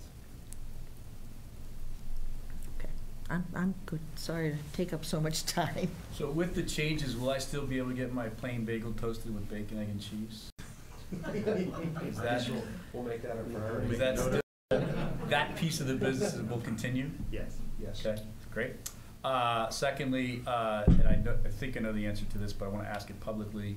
Uh, Mr. Twinney, have you had any incidents reported uh, under your alcohol license to date? I have not. We've been very fortunate, uh, we're pretty, pretty uh, diligent and, you know, taking our responsibility very seriously down at Waterfresh Farm, and uh, we're very pleased to say that there's not been any reported incidents back to us. Um, We even keep a log, and we've had a, a couple situations where uh, we've denied service, or we've, uh, um, I think I even may have uh, turned away someone who didn't have an ID, who ended up being one of the town's efforts. Uh, But we have records of those, um, but there have been, you know, uh, I think it- there's been a terrific outcome over the last year and a half since we've had our first pouring uh, permit, and um, we have had no incidents. Okay, last question, please don't take this the wrong way. Chief Lee, is your uh, recommendation that we proceed with this uh, license for expansion? Yeah, we have no uh, violations or, uh, all the concerns that we have were, were addressed. Thank you. Um, Mr. Twinney, uh, I'm seeing, as I'm looking at the diagram of the building and all that, can you tell me, is the uh, aging and packaging area, is that a new uh, building? Yes. So that's a physical expansion? That is a, uh, a transformation of some greenhouse space with uh, uh, uh, some packaging space for our brewery to increase production. Mhm. So currently, what's your capacity, and then what's the new capacity gonna be? So we can do about twenty-four hundred barrels a year right now, and with the new capacity, we'll go to forty-eight hundred barrels with further expansion in that new space without any further changes, just some more tanks coming in, up to about seven thousand barrels. So, uh, it's, uh, it's still by all measures, one of the smallest breweries in the state, um, but, uh, we're fortunate that there's such terrific support for our business and clearly, uh, an opportunity for us to grow and, and continue to hire local folks, add jobs, more sales tax, bring more tourists into town and so forth. So Great. we're pleased with the, uh, you know, the, the plan is that uh, this expansion um, is, is part of the entire uh, step growth for us here. Thanks. Yep.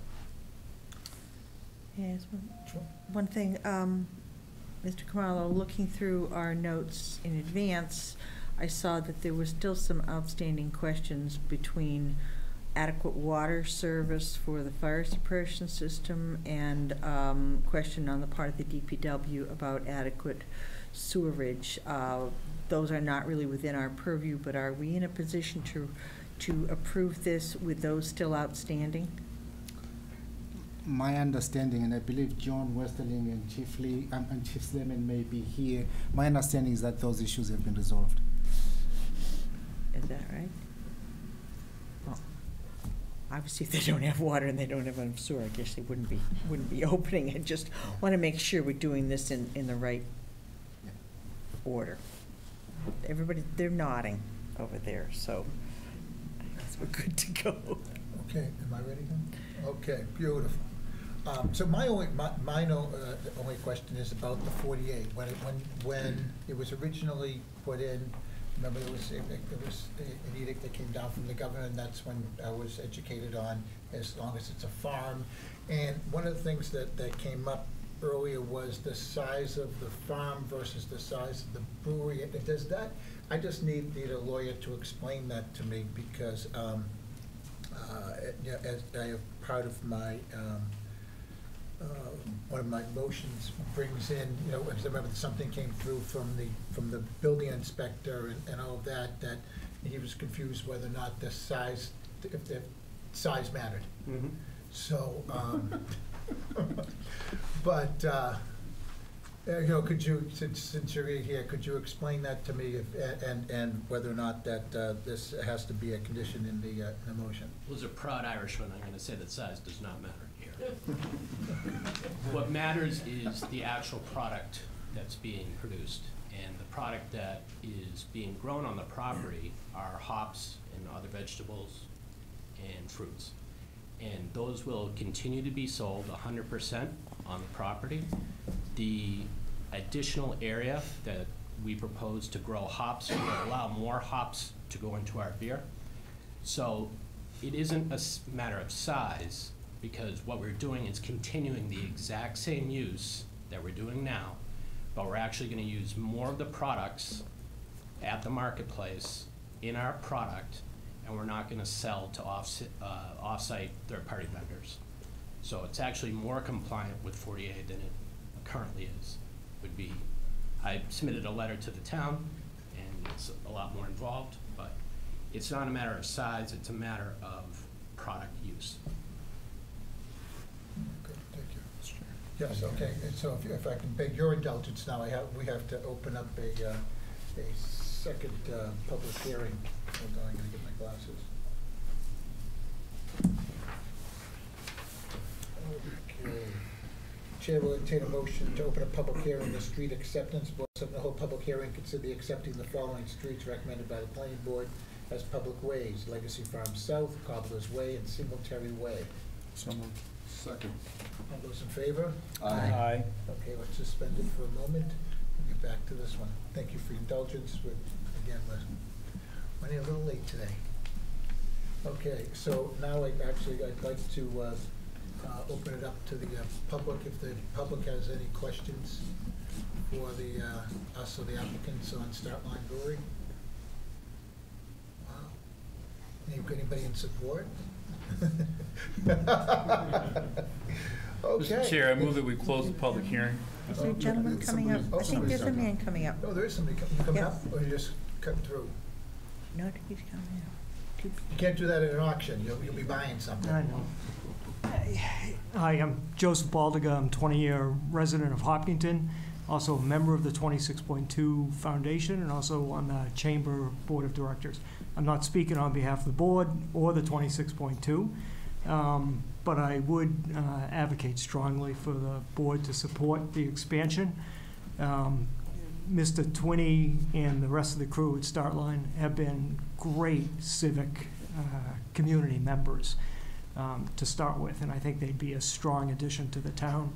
Uh, Mr. Twinney has been very supportive of the foundation, of the chamber. If you've driven through town, you've seen the banners uh, up. Mr. Twinney was instrumental in getting those put up. Um, They're holding that big marathon spectacular on Monday. Uh, Mr. Twinney has been very supportive of that.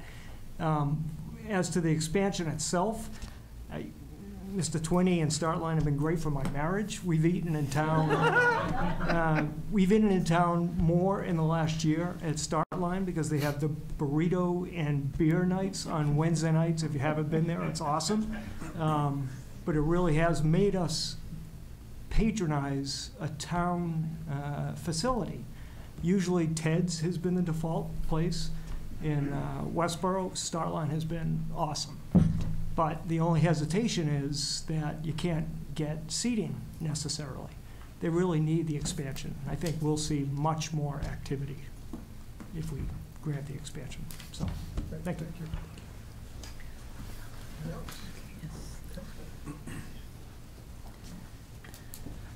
Good evening. My name is Patrick Sansonetti. I own 150 Hayden Rowe Street, and I live at 154 Hayden Rowe Street. I'm in a butter of Waterfresh Farm and, and Startline Brewery. Um, I've written a letter to the board. I'm sure you've all received it. I won't reread the letter, but I would like to make one point, maybe two. Um, to me, this is about two businesses. One being Waterfresh Farm, who's been a strong supporter of many town activities. They've been an excellent neighbor. They've fulfilled every promise and every request that the neighbors and the abutters and probably the town, to my knowledge, has made. They're transitioning their business and they're moving it to another business uh, that's owned by Ted, Startline Brewery, who's, you know, for to use a marathon pun, taking that torch and running with it. Uh, he's also been an excellent neighbor. Um, he's spoken to me many times about his uh, expansion. I've talked to him about some concerns. I know that he's been very open to uh, listening to the neighbors, the immediate abutters, but also the surrounding sound. So as an abutter, I'd like to express my support for this change and this application uh, on both sides. Thank you. Thanks, PJ.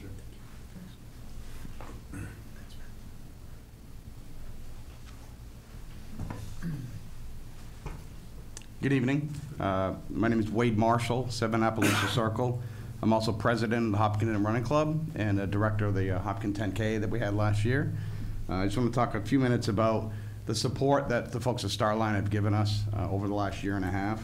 Um, They've hosted our, as mentioned earlier, our burrito runs that we have once a month on Wednesdays. Uh, Go with the running club. We're about 300 strong, uh, about 200 or so, maybe two-thirds live in Hopkinton. So they host us once a month uh, for, you know, we do a short run and then come and have a burrito and a beer afterwards. Um, As far as the 10K goes, they were instrumental in uh, their sponsorship of us for that. Uh, They helped drive uh, registration to the site. They donated their time. They donated the beer sales that we did after the race to go to the uh, Pay It Forward Scholarship that we'll be presenting to two Hopkinton High School students uh, this, uh, this coming graduation.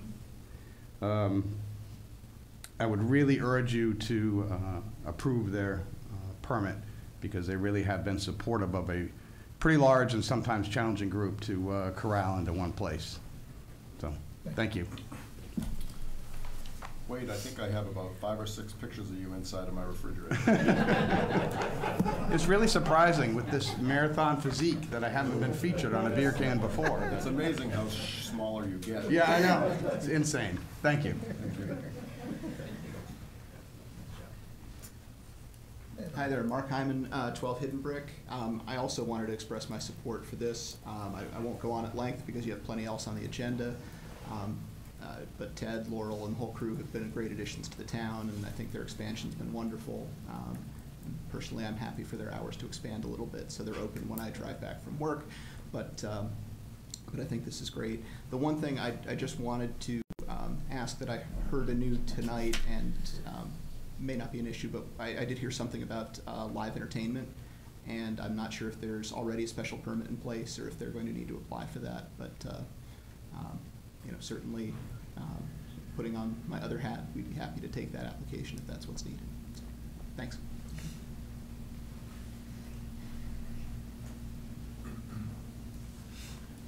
Uh, Good evening, Uh, Scott Richardson, President of the Hopkinton Chamber of Commerce. In the immortal words of our town moderator, most everything's been said, but not everybody has said it. So again, I just wanted to uh, echo uh, everyone else's endorsement of this project. Again, Ted and his staff uh, do a super job, and we really are looking for them to continue with uh, supporting the community, and this is a good way for the community to support them. Thank you.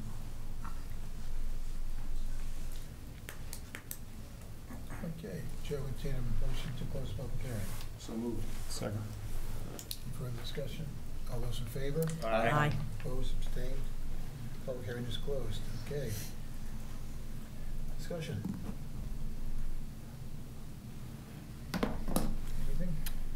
Um, You know, I'll just start and say that, uh, I think when Mr. Twinney first came in front of us, uh, and he was looking for more space than he started with, uh, I was one of the first people to hesitate a little bit and try to slow things down.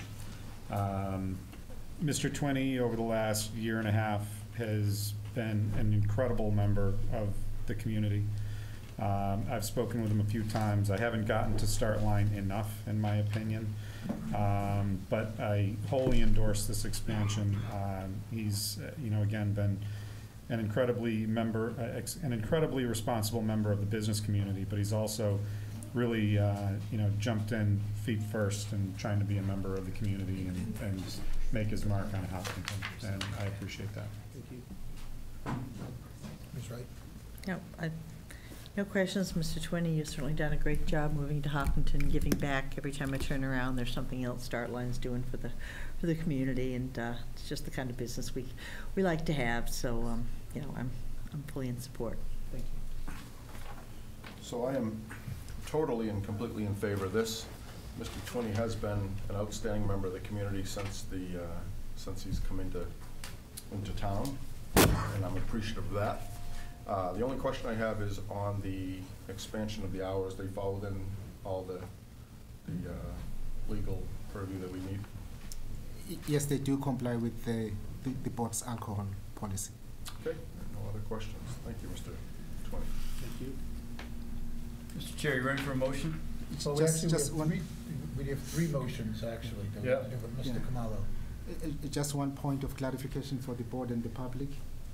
Uh, The comment that the, that we received from the building inspector uh, indicates that there's still a continuing conversation between um, the applicant and town council. Uh, And the suggestion is that if the board is inclined uh, to approve the, um, the three applications, that the, the, the board's approval be conditioned um, on compliance with zoning. Uh, In other words, the the zoning question is still being discussed between the councils. Got it. And it's under, and it, it falls under the purview of the building inspector. Mr. Chair, I move that the Board of Selectmen vote to approve Startline's application to amend its licensed premises as specified in the submitted materials and on the conditions that prior to the issuance of the license, uh, number one, Startline obtains a determination from the buildings inspector and zoning off- enforcement officer that the use complies with local zoning, and number two, that Water Fresh Farm return its license to the town. So, how long will it take to, or is it, give me, give me a second. Second. Okay, further discussion. So, um, Mr. Khumalo, is, is, will this, i- can this be resolved, um, uh, quickly? Is that, is it going to affect uh, anything that uh, Startline needs to do, anything? Uh, um, Our, our conversation with town counsel, as well as uh, my conversations with Mr. Chen, is that uh, uh, we have urged all parties to get to some mutual understanding as soon as possible. If I may? Yes. Uh, I received a letter yesterday from town counsel asking, um, several questions to allow town counsel to form an opinion. And, uh, we will be able to submit a response to that hopefully this week. Uh, What I would request that if you're gonna take a vote tonight, and if it is approved, that you hold the application package pending town counsel's report to the building inspector and the building inspector's determination as to zoning. Because zoning is a integral element, a required element, and we would rather prefer to know the result of that before going to the ABCC and then having somebody turn in a license and then receiving some potential negative report on zoning. So if you're gonna vote, I request that you would hold the application for, it shouldn't take through next week to get, I think, town counsel to form an opinion and advise the town. Okay, Mr. Is that possible? I believe so. And I think the motion states that Startline obtains a determination from the building inspector slash zoning enforcement officer that the use complies with local zoning. All that that you just described would have to take place before he would go ahead and say yes. So I think we're in good shape with the motion. Okay, no, but they turn the license part in, is that, that's the second part of the motion. I think your motion is accurate. You can vote on the motion. I think the only wrinkle is, is that if the motion is allowed, that you hold the application package pending determination by the building inspector. Mr. Just with one clarification, the, this would work provided that town counsel also tells us that we don't require an extension from the applicant, and I'm assuming that would not be the case. Okay. So, so my mo, my amended motion would include, uh, at the end of sentence or point one, and that the Board of Selectmen hold the application pending approval from, I believe the board, the board can vote. It's not holding the application, the board can vote. Uh, It's just a matter of uh, sending it to the ABCC via Form 43. And until we have all this other. until you have the, it, just in the event, the unlikely event, there's an issue there that would need to potentially unwind the whole transaction. Does that need to be in the motion? I don't think so. No need. Okay. So my motion is as stands. Okay. Any further discussion? Ms. So, White? point of clarification, so now Mr. Tadaro explained to me that the marketplace is not going away. It's gonna be a little smaller, you can still get get your stuff there. So, is Waterfresh Farm ceasing to exist and this is all going to be Startline Brewing? You'll just have a little marketplace thing on the side? I was under the impression that these are gonna be two sort of standalone, but side-by-side businesses. What is happening with Waterfresh Farm that we would be taking that license away? So, the- when we applied last time, or Ten applied last time, we were concerned about having two licenses in the same physical building. Uh-huh. Right.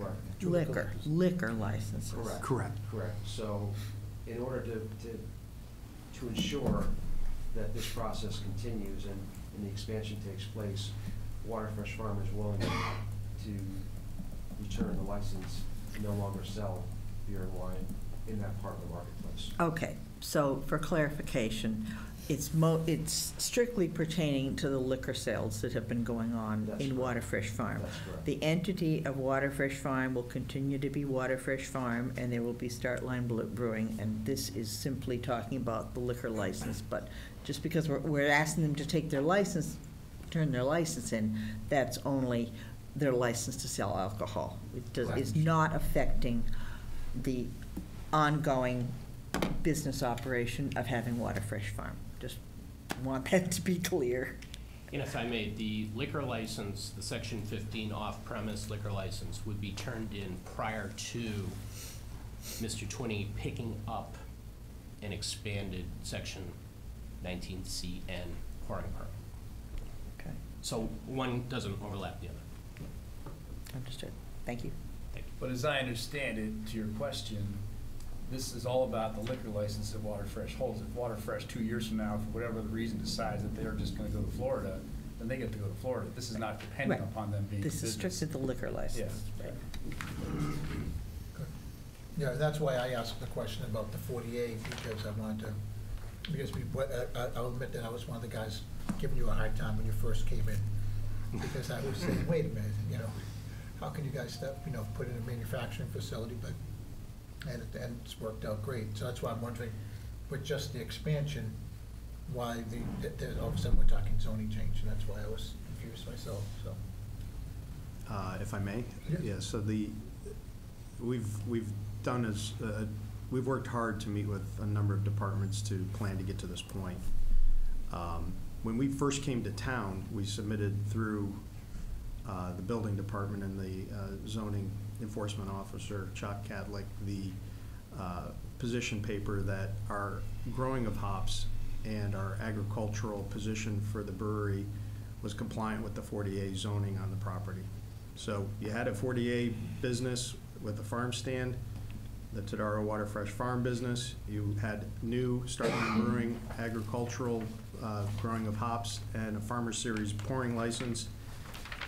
For some reason, we're relitigating it all over again, and frankly, I don't want to get frustrated by it, but I'm deep into this gentleman's pocket. We've supplied legal notices back to that office. We're getting a four-page questionnaire about all kinds of information. Uh, We're a little frustrated, but we'll continue to proceed, and I'll keep paying.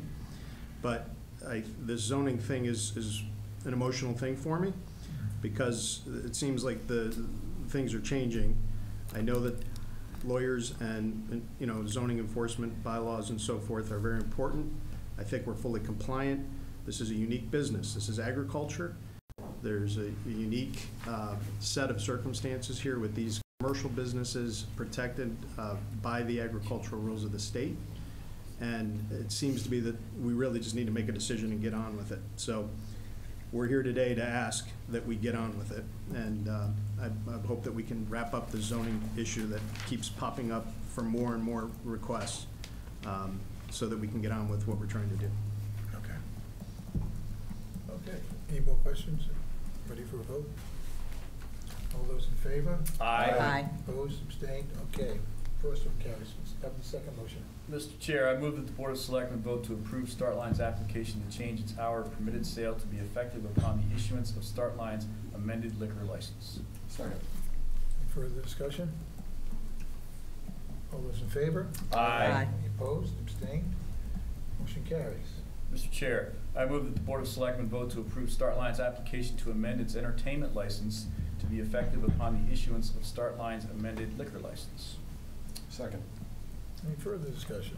Can we just get a little more clarification on this one? So we're, we're, we're gonna have additional entertainment and occasional live entertainment? Can Correct. someone describe occasional live entertainment to me, please? And does that include like you two back there?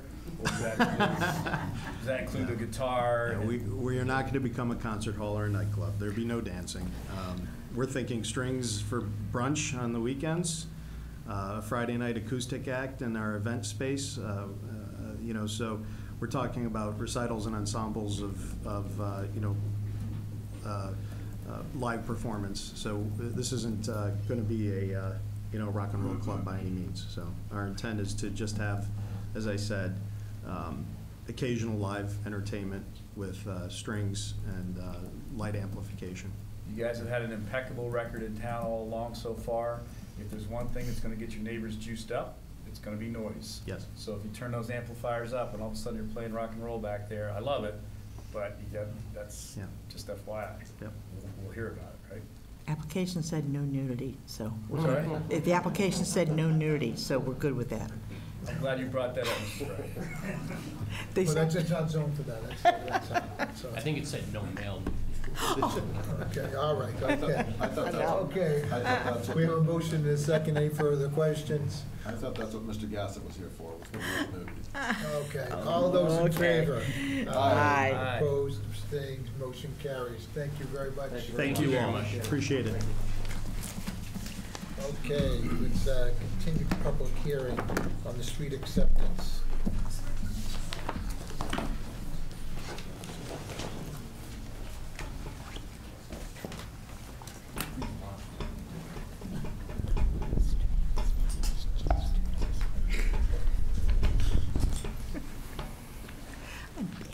Wow, everybody's going, leaving, come on, there's still some good stuff.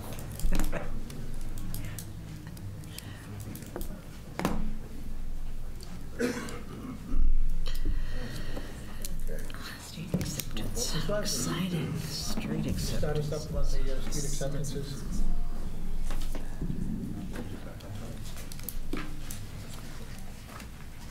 Okay. This is an annual event leading up to town meeting where typically the planning board proposes um, new or older streets for acceptance as public ways.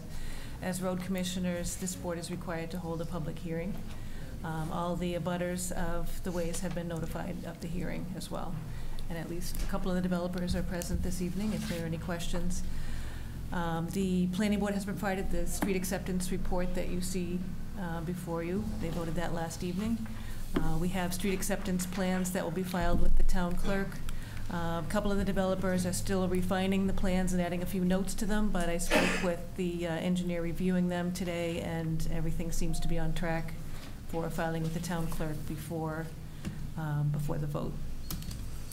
Uh, Do you see any plat problems or anything that'll delay any of this? or- DPW did inspect the streets today, and uh, this evening provided a list, and I believe John Westerling is here, that can address those. Um, The developers are prepared to address all of those items before town meeting, I'm sure. I did speak with one today who is definitely committed to addressing all of those, and that is uh, regarding Singletary Way.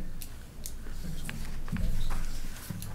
So, uh, anybody have any questions for, uh, I have a couple of questions if I could, please. So, and and maybe you just touched on this, Elaine, but I was thinking about something else. Legacy Farm South, has the final binder been applied? It's, it's fully complete. It's fully complete, okay, thank you, I'm all good. Uh, and if, if, if, this is gonna sound a little weird, if the developers are here, if they could raise their hands, please? So Mr. Cheever's not a developer? No, it's part of that. I'm sorry? He's a partner. He's a partner, so which development is that? Cobbler's. Cobbler's Way. So, Mr. Chair, I have to recuse myself from Cobbler's Way. Mr. Cheever is a wonderful human being, and someday I might do some business with him, so I have to recuse myself from that particular vote. okay. Any questions? Mrs. Sestari? Questions? Ms. Wright? Nothing? Wow, you went your planning board hat on. No, Excellent. you want- no, Yeah, they- and, and I, and I went over the whole thing with, uh, Ms. Lazarus earlier today. Mr. Westerling? Good evening, members of the board, ladies and gentlemen. Just, Hot mic. we did our inspection. Uh, There are a few punch list items, but I have spoken with the developers, and they are committed to completing those items before town meeting. So provided that occurs at town meeting, I can provide a positive recommendation for acceptance. Okay. So, um, any, anybody, any, any butters, anybody from the, okay, there aren't any. So, Chair requests a meeting to, uh, request a motion to, uh, close public hearing. So moved. Second. Further discussion? All those in favor? Aye. The, uh, public hearing's closed. Okay, does, uh, anybody want to, uh, any, any discussion? Uh, you want to make a motion to accept the, um, streets? Mr. Chair, I move that the Board of Selectmen uh, Here it is, here's it. accept the following streets recommended by the planning board as public ways. Legacy Farm South and Singletary Way. Second. Any further discussion? All those in favor? Aye. Hold on one second, please, Wait, Mr. wait, Chair. Uh, So I, I'm moving that we vote to accept Singletary Way and Legacy Farm South uh, for public ways and to authorize the Board of Selectmen to acquire, thank you, uh, by gift, purchase, or eminent domain, any land or interest in land necessary for such laying out. That's the motion. Accept the, uh, Second. Friendly amendment, okay, all right. Okay, then in that case, all those in favor? Aye. Okay, motion carries. Okay, that, Chair will entertain, a- entertain the same motion for, uh, uh, Cobbler's Way. So moved. Second? Any further discussion? All those in favor? Aye. Opposed, abstained, that one carries. Okay, we accepted three streets. Beautiful. All right, moving on. Thank you for coming. Thank you. Mr. Gassett, always a pleasure. My pleasure. You're, you're right. Okay, let me get back on, back on schedule here. Uh, Budget capital plan update. Board of Selectmen received an update from the town manager and the appropriation committee's review of proposed FY 2019 operating capital budget. Okay, um, the Appropriations Committee has begun its review of the comprehensive town budget, uh, including the uh, operating budget as well as the capital budget. Uh, Yesterday, they met with the school department as well as uh, engineering and facilities. Uh, I believe so far the discussions have been very productive, forward-looking, and working towards uh, formulating a recommendation by the um, Appropriations Committee ahead of town meeting. Uh, In terms of the discussions with the school department, I believe all questions were answered with regard to the operating budget. Uh, There were follow-up questions that were presented with regard to the turf field. And my understanding is that there was an, there was an email that was shared late this afternoon uh, from Jean Bertschmann addressing some or all of the questions raised by the Appropriations Committee. Uh, Specifically, I think what I heard at the meeting were the following. Uh, There was an interest in the Appropriations Committee uh, understanding the, the, the the private fundraising uh, component of the project, uh, especially the, the timing of when that, uh, when the funds from the private fundraising could be made available. Secondly, there was an interest in understanding the financial pro forma, i.e., there have been uh, statements with regard to revenues that may be generated uh, by the fields, and thus the Appropriations Committee is interested in seeing that financial pro forma. Um, There was also an interest in understanding how the electricity bills will be paid, uh, realizing that these fields may be open until 10 PM, and there's lighting that is proposed. Uh, And then finally, there was discussion and an interest in better understanding the budget information, which in fact may have been presented as part of the, the, the, the, the meeting packet last night. Uh, However, now that the bid process is complete, I think the Appropriations Committee wants to better understand, to better understand the budget components of the project. Uh, in terms of facilities, I think, uh, the committee spent some time, uh, discussing with Dave Del Toro, the town engineer, uh, the implications of, uh, the town assuming responsibility for center school. Mr. Starr, any questions? Go ahead. Not this time. Not right now. Okay. Let's move on. Annual town meeting articles. Board of Selectmen will continue its review of the annual town meeting warrant. Consider and finalize ballot questions, review fi- draft motions, and take positions on articles, including the town manager-sponsored articles. Khumalo. Uh, We will share with the board the updated town meeting warrant and motions documents. So These are the motions.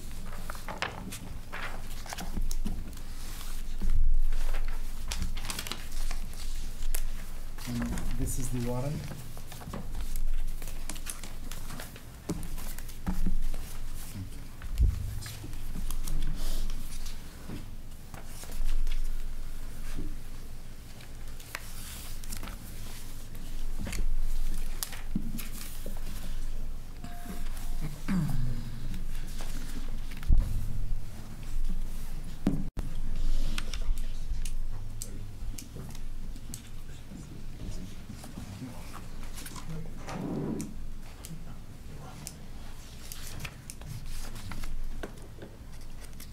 Okay, um, it may be helpful, Mr. Chair, with your permission, uh, that the board continue the discussion that you started at your last meeting regarding the turf fields, uh, specifically whether the, the board is going to be placing um, the turf field article as a ballot question um, for town election consideration. So doing that, so basically, we're, we're talking whether or not it's gonna be inside or outside the levy limit. Yeah, that, that is correct, and in fact, this is, this is perhaps part of the comments that we made earlier, um, at the beginning of the meeting. Uh, specifically, that the ballot question simply addresses if the borrowing is going to be excluded. Mr. Khumalo, could you go through um, all of the, all of the funding sources for this project and their status, please? Yeah, based on, based on my understanding, there are three broadly identified prospective funding sources for the project. Um, the first component, which has already been approved, is CPC. That CPC funding source is broken into two.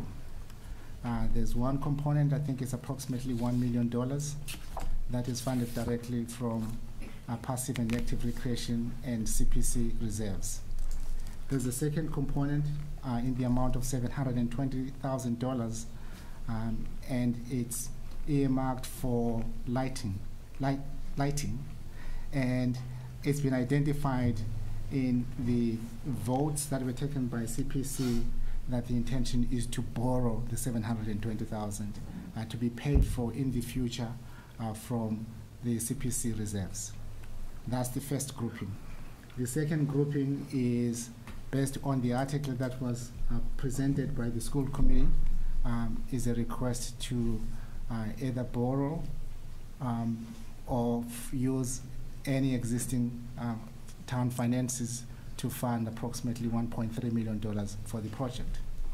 There has also been discussion of a fundraising uh, effort targeting approximately $500,000. So those are the three broad, broad funding sources that have been identified to date.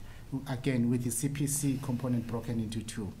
So the CPC, the first component you talked about, uh, using current funding and, and reserves. Uh, What, what are the reserves that CPC is re- referring to? I- I'm not sure I'm clear on that. Yes, uh, in, in fact, we, uh, I'm in the process of scheduling a meeting with uh, the CPC chair. I do have questions in terms of whether the reserves are, res- the reference to reserves is with respect to FY eighteen reserves or future reserves. Okay.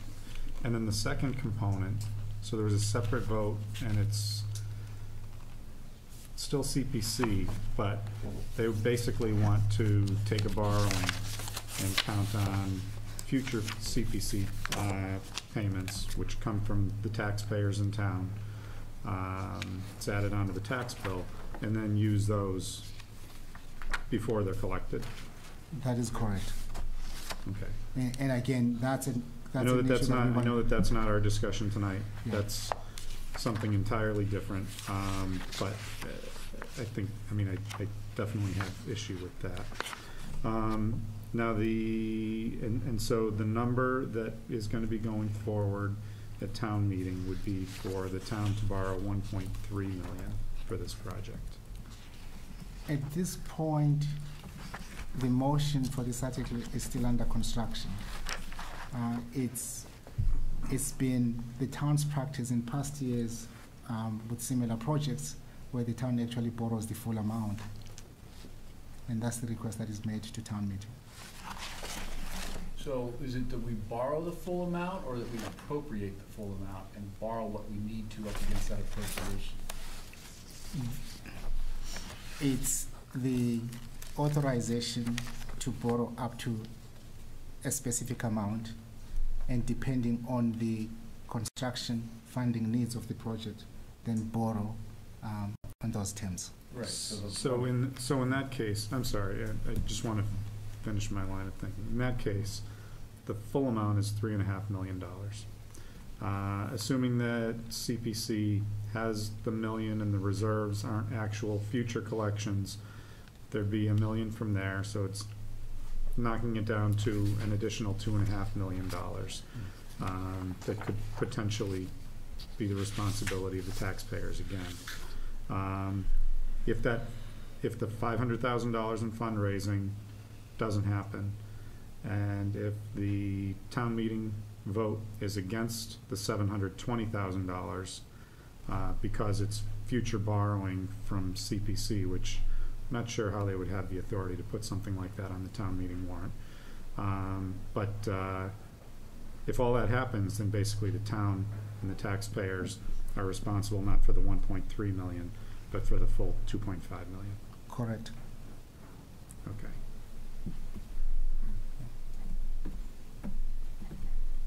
Uh, can you explain, um, debt exclusion versus inside the levy limit?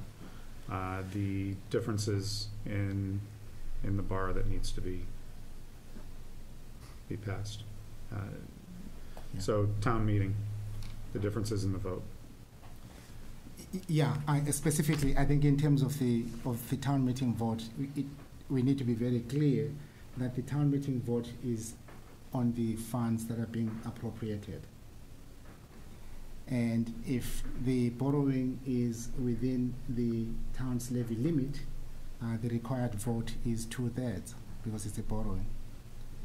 Um, should there be uh, an inclination uh, on the part of the board or an inclination on the part of the uh, town meeting uh, to um, add debt exclusion uh, as a condition to the appropriation or the borrowing, then a town election vote is required, and only a simple majority would ap- would would be required to for approval. For At the town- ballot Yes, component. exactly, at the town It's election. Still two-thirds of town meeting? Yes, two-thirds of town meeting. Either way. For the borrowing, Okay. yes, for the borrowing. So just a comment to the board, um, I know that Ms. Bertschmann made a comment earlier about uh, whether or not we send this to the ballot. Uh, You know, if we decide not to, then it's trying to get around the school committee's authority. That's not true. Um, In fact, it is the authority of this board to determine the funding of the articles on town meeting floor.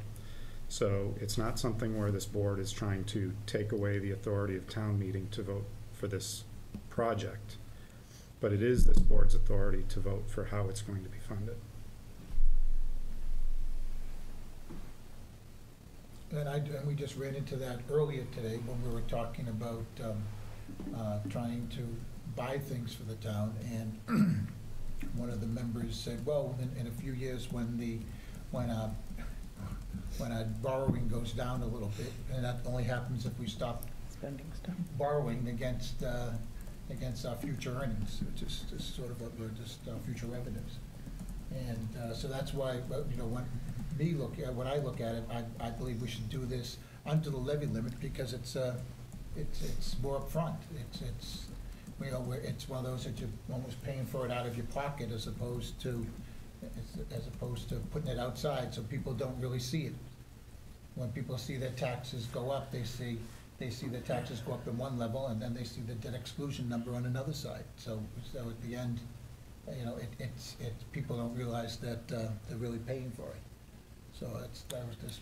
Yeah, I think that the, um, yeah, the, the headline each year is that the operating budget went up X percent. And there's never any true discussion about everything else that's been passed that's actually adding on to the tax bill. And each year, as these, these projects are put as debt exclusions, um, it is, it is protecting that levy limit. And, you know, it basically makes these other things uh, invisible until you have to write the check. And and in fact, um, in, in terms of the,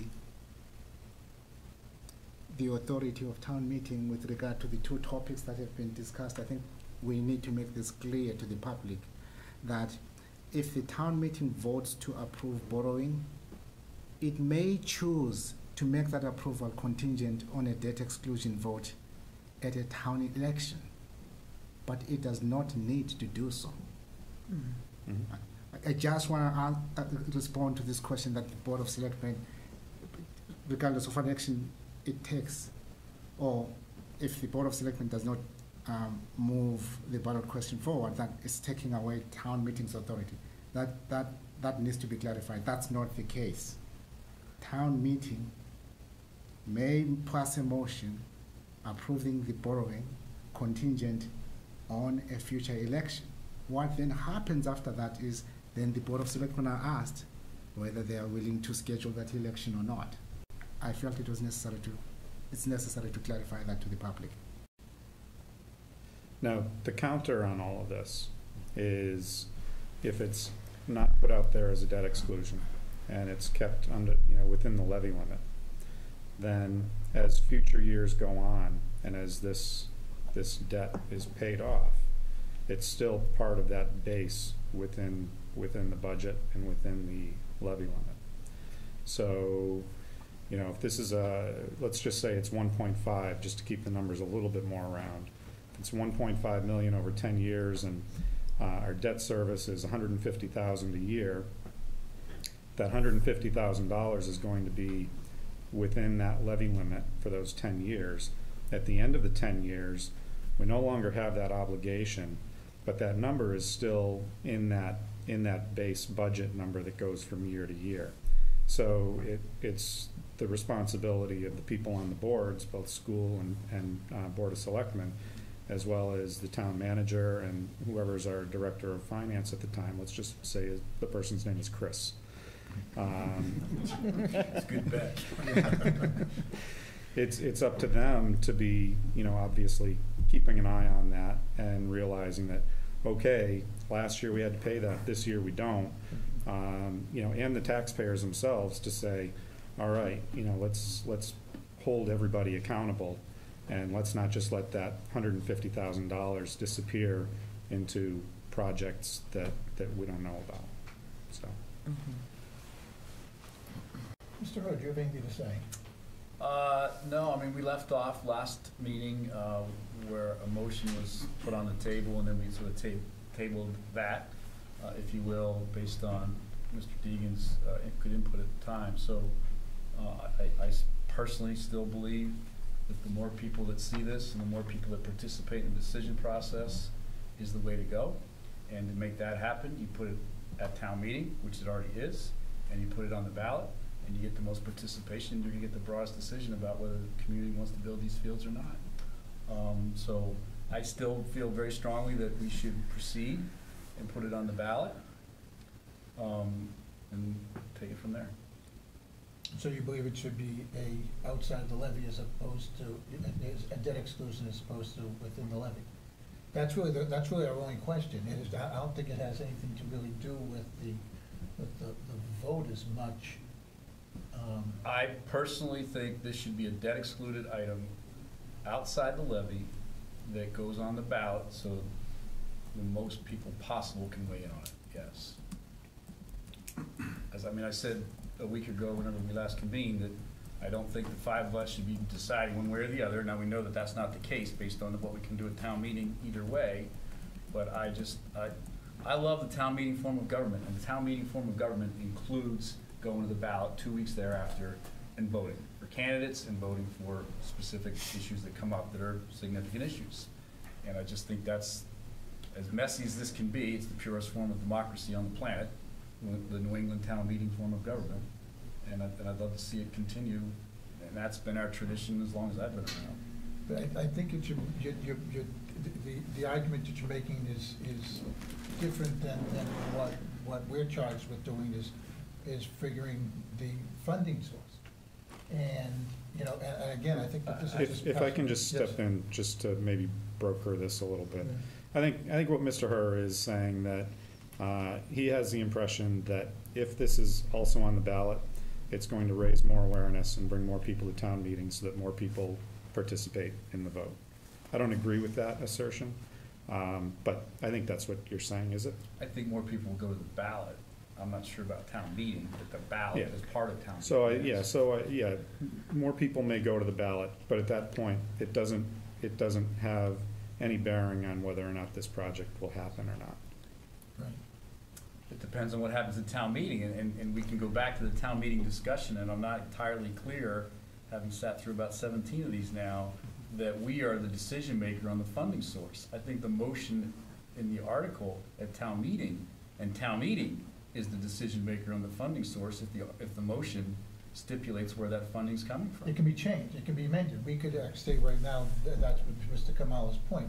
We can, at this point, we could say we want it to come under the levy limit. And then at town meeting, somebody could, could make an amendment saying, no, I want it to be a debt exclusion.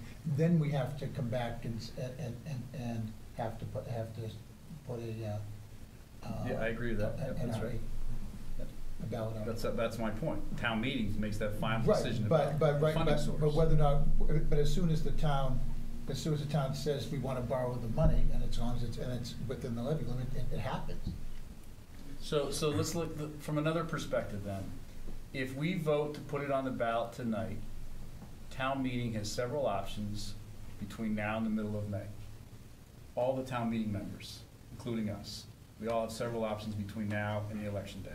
If we vote not to put it on the ballot tonight, then the options become limited. It's gonna happen at town meeting. No, it's still the same two, it's still the same two options, same options, they can either do, but, no, they, eh, no, if somebody wants to put it on the, wanna put it, put it on a ballot, you put it on a ballot, and we have to have a me- another meeting. So we could put it on a future ballot, but then we could have a lot of discussion at town meeting about the, the efficiency of going forward now, the possibility of cost increases based on it, that's in- inflation and other issues, et cetera. So I think we can sort all that out. But I think not having it on the ballot in May of twenty eighteen limits what'll be discussed at town meeting in May of twenty eighteen.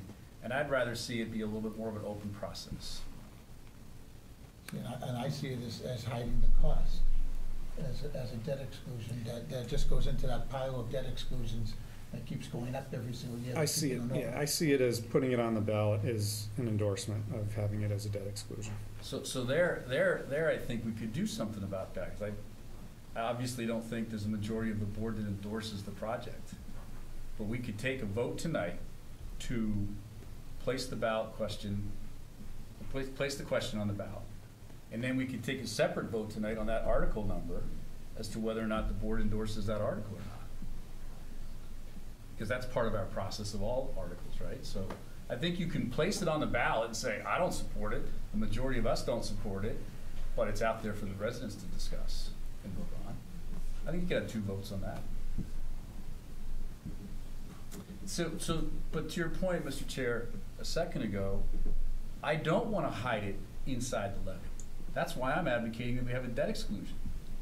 If we don't put it on the ballot, and maybe we could put it on a ballot a future year, but then there's all kinds of It's not hidden, it's not hidden in, in, in the levy limit, no, because all of a sudden people say, my goodness, my taxes went up eight percent instead of two and a half percent.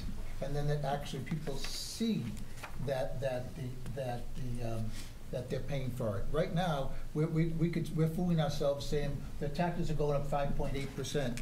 And, oh yeah, but in September, oh yeah, it's, but we also have this chunk that, that the taxes were also going up by. That's exactly why you put it on the ballot. So they would know that they're voting for additional money beyond the operating budget number that we're talking about, inside the levy. I don't want, I would prefer not to do it inside the levy.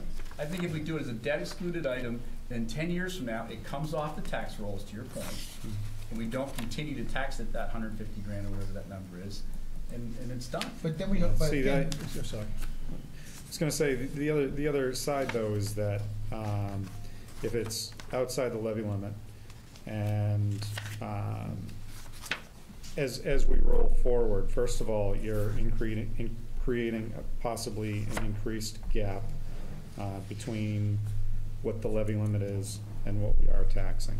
So, you know, over the last, over the last few years, you know, we've made it, you know, very public that we've been doing these, um, uh, underrides, thank you, underrides, and we've been taking money off the table. Right. We can't, we can't be sure that future boards are going to do the same thing. So that's, that's one of my concerns. Um, I want as much as we can to be inside that levy limit, because I want every penny that's spent within the levy limit to be well thought out.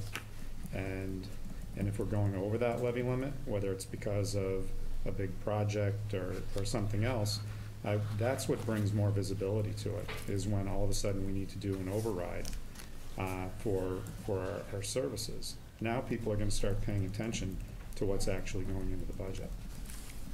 So if you're, if you're, if you would like to see this as much as possible inside the levy limit, including this Fields project, then you wouldn't vote to support, to put it on the ballot. Because that's going debt excluded. If you go on the ballot, you're going debt excluded unless town meeting changes it in Exactly. motion, right? Exactly. So you take that option off the table. Mm-hmm. and then we go have the discussion at town meeting. Mm-hmm. That's, Yeah. that is and- and by- certainly and- within and- your purview as a member. Yeah. I personally still think we should put it on the ballot, so. But I hear what you're saying, and I'm happy to have that, if that's how it plays out, I'm happy to have that discussion at town meeting. Yeah, I mean, I'll be, I'll be upfront, you know, I mean, I think that, I think that if that number stays, you know, in that million to a million three range and we're getting those fields, I think that's a great deal. And I think that it's, it's good for the town, it's good for the kids, um, and I don't have any qualms with that. It's, if things start creeping up, whether because of, you know, a lack of fundraising, or because what, I have a very difficult time, and, and, you know, I, I don't wanna make a big deal out of this because I haven't had a chance to hear a lot of details about what's happening with that seven hundred and twenty thousand dollars of CPC funding. But I have a very difficult time, um, endorsing a borrowing from that group, uh, against future collections. Because that's a, that's a program that the town could also vote to opt out of in future years. And so, again, that's, that's money that, from another committee altogether, they're basically putting something out there just to take this borrowing and then have it trickle down into, into the tax base. This wouldn't be the first time that's done. It may not be. In It's- Hopkinton and it- around the I'm not state. saying it is. I'm- It's, Mm-hmm. it's the first time that, that I've been aware of it, if that in fact is what's happening, which again, I just heard about this this afternoon, so. Got it. um, And, and I think that, I mean, I have, I have issue with that.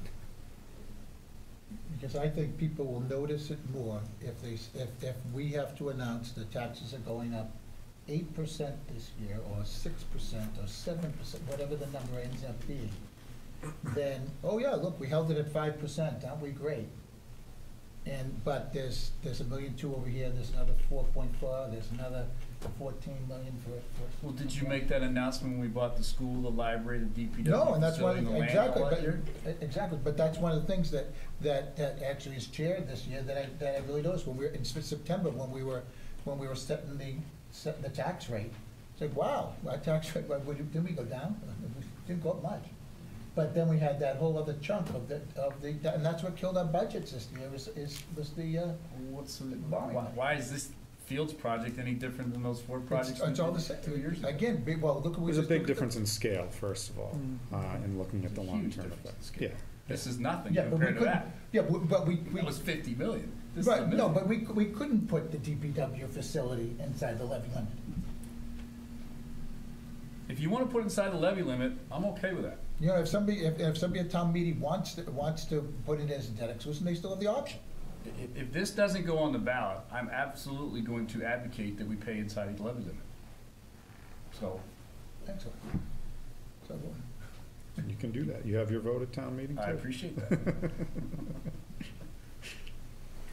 all right.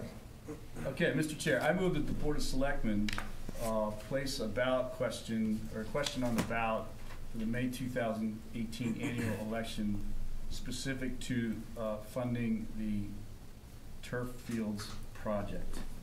Mr. Khumalo, is that motion in order? Yes.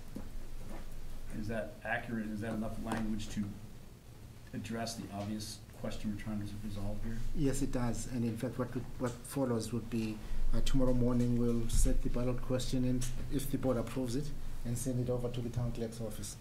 So I have a motion on the table, Mr. Chair. Is there a second?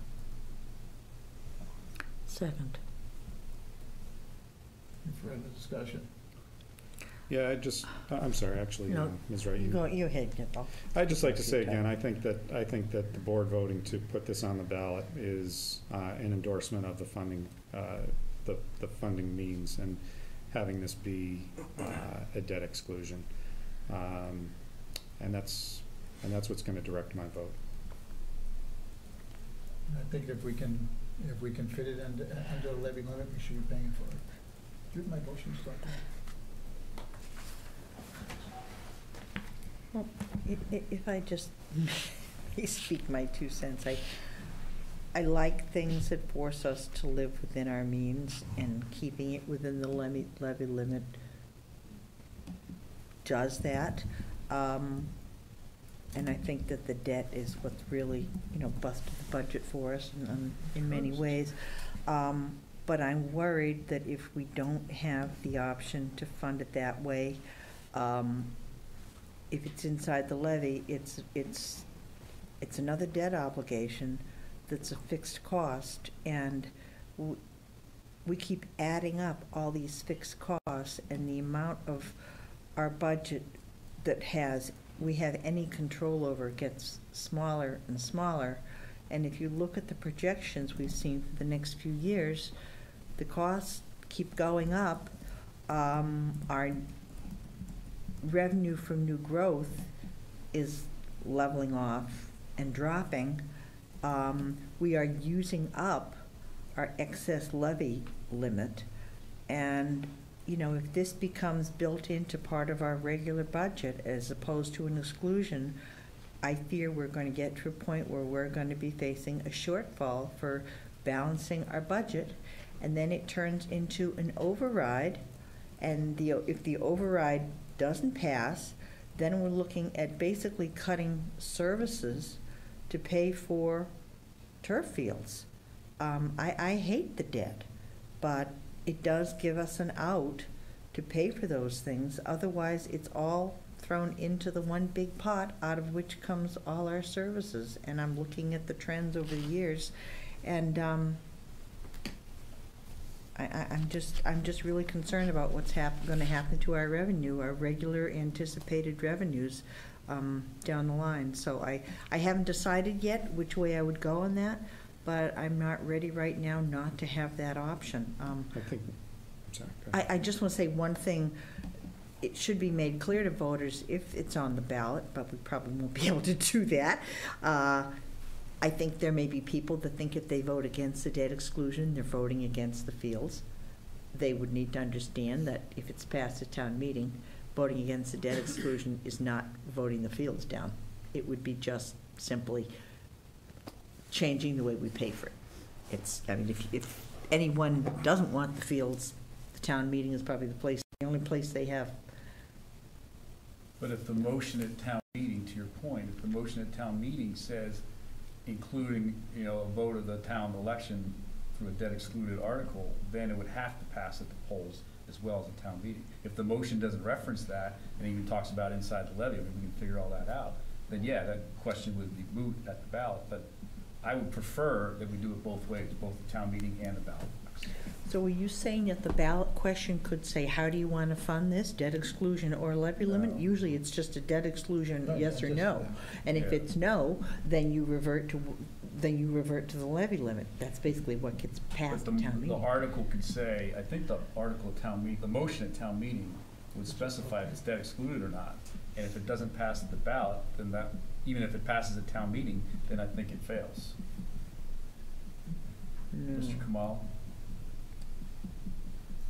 if the motion at town meeting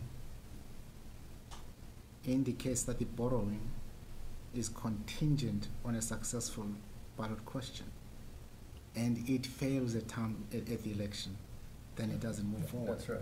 Okay, so Yeah. at town meeting, you specify that this is to be a debt exclusion. You don't give a choice. It's, we, we're making a decision that we vote as a debt exclusion. No, we're doing that If now. that's what I the know, motion. I know. If that, no, if it, if, Yeah. at town meeting, if that's the motion for the article under consideration for the fields, Mhm. that it has to be debt excluded, and that's what passes, then yes, the ballot has to pass. If at town meeting, it goes up and the motion is it's debt excluded, and someone walks to the microphone and says, I don't want it debt excluded, I want it inside the levy, and it passes inside the levy, and that- that amendment passes, let's say the, let's say the motion, the original motion is debt excluded, Mhm. and someone makes an amendment to the motion, and then that amendment passes, and then we take the vote on the article again with the amendment saying it's Mhm. inside the levy, Mhm. then it passes at town meeting, it's done, and what we put on the ballot tonight, if that's what we do, is moot. Mm, Okay. So we do make a funding decision at town meeting. It's not No, it can be, it can be amended at town meeting. Yeah, yeah. If we're- If we say, if we, if Right. we make a, a motion to make a debt exclusion right now, then it goes to town meeting as debt exclusion, and Yeah. somebody else has to go and change it again. Just to be clear, whatever happens at an election is binding. It can't just be moved. Elections are elections. Yeah, but- no, no, Well, at the ballot Yeah, but I think what Mr. Herr is saying is, uh, if there's a ballot question on there for taking the borrowing as a debt exclusion, and at town meeting, the article or the motion is amended to say, no, we don't want this to be a debt exclusion, we want this to be inside the levy limit, and it passes, now the ballot question has no bearing on anything. It has no, okay, correct. Just wanted to make sure that people understand that el- elections are serious. Yeah. Yeah. Elections matter, we all know Yeah, that. Yeah. Okay. Um, just, just, you know, commenting on, on Ms. Wright's, uh, comments. Um, y- you know, whether it's inside the levy limit or not, it's the same money. Um, taxpayers are gonna be paying the same amount. Um, yes, if it's inside the levy limit, then there's a possibility that in future years, there is more pressure, uh, on the budget to stay underneath the levy limit. Or there's, there's an override. Um, in my opinion, the override brings more visibility to how the town is spending its money. And, you know, it, uh, it, it brings more eyes to it. You're gonna have, you're gonna have a lot more people at town meeting if you have an override that's out there. but to your point, a few years back, there was an override that failed. That was the new school. And then the we staffing of the had new to school. go back and make some accommodations. And if there was a budget shortfall, because this, this amount, this Fields thing is baked in the cake now, suppose. So you have to go for an override, and the override fails, then you would need to go back and start to make But that's, cuts or that's, judgments, that's the adjustments. taxpayers, that's the taxpayers, uh, you know, letting their voice be known as well. Uh, and again, you know, whether it's inside the levy limit or outside the levy limit, my opinion is if it's inside the levy limit, it, it just sheds more light on everything, so that in situations like that, you know, people do have to go back and say, how do we, how did we get, get here? And they're gonna look at Yeah. how the money's being spent, and they're gonna have a more direct say in everything. I just hate to end up cutting police and fire to pay for turf, turf fields. Somewhere down the line. No, we just have to, but no, we just, it just has to become known. No, we can always pay for stuff, we just have to, we just have to tell people. I, I don't, I don't see this creating any distinct change No. in whatever trajectory or, you know, pattern we have when we look at our budgets and the increases from year to year. Um, you know, I think that it's these, it's these extra projects that people each year will start to investigate a little bit more. If, if that's the will of future boards to keep them inside the levy limit. Um, but I don't see this creating any big, you know, sea change in, in spending. But I think it brings more awareness. So. Ready for a vote? All those in favor of, What are we voting on?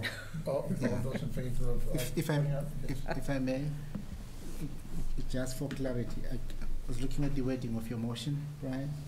Um, Would you be amenable to replacing the phrase debt exclude um, with the following phrase, um, exempt from the provisions of Proposition two and a half?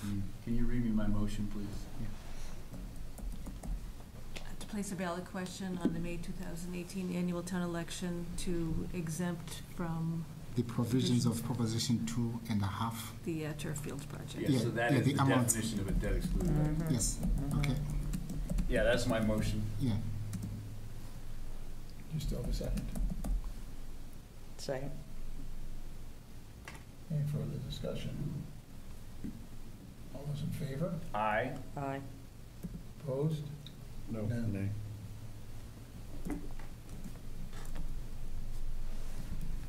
It's gonna be a fun town meeting.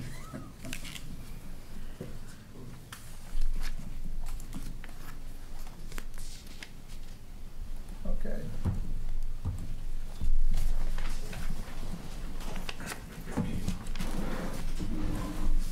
What else we got? Yeah. What other articles we have? Yeah, I, I think the, through the chair, um, the remaining articles are the financial articles that are sponsored by the town manager.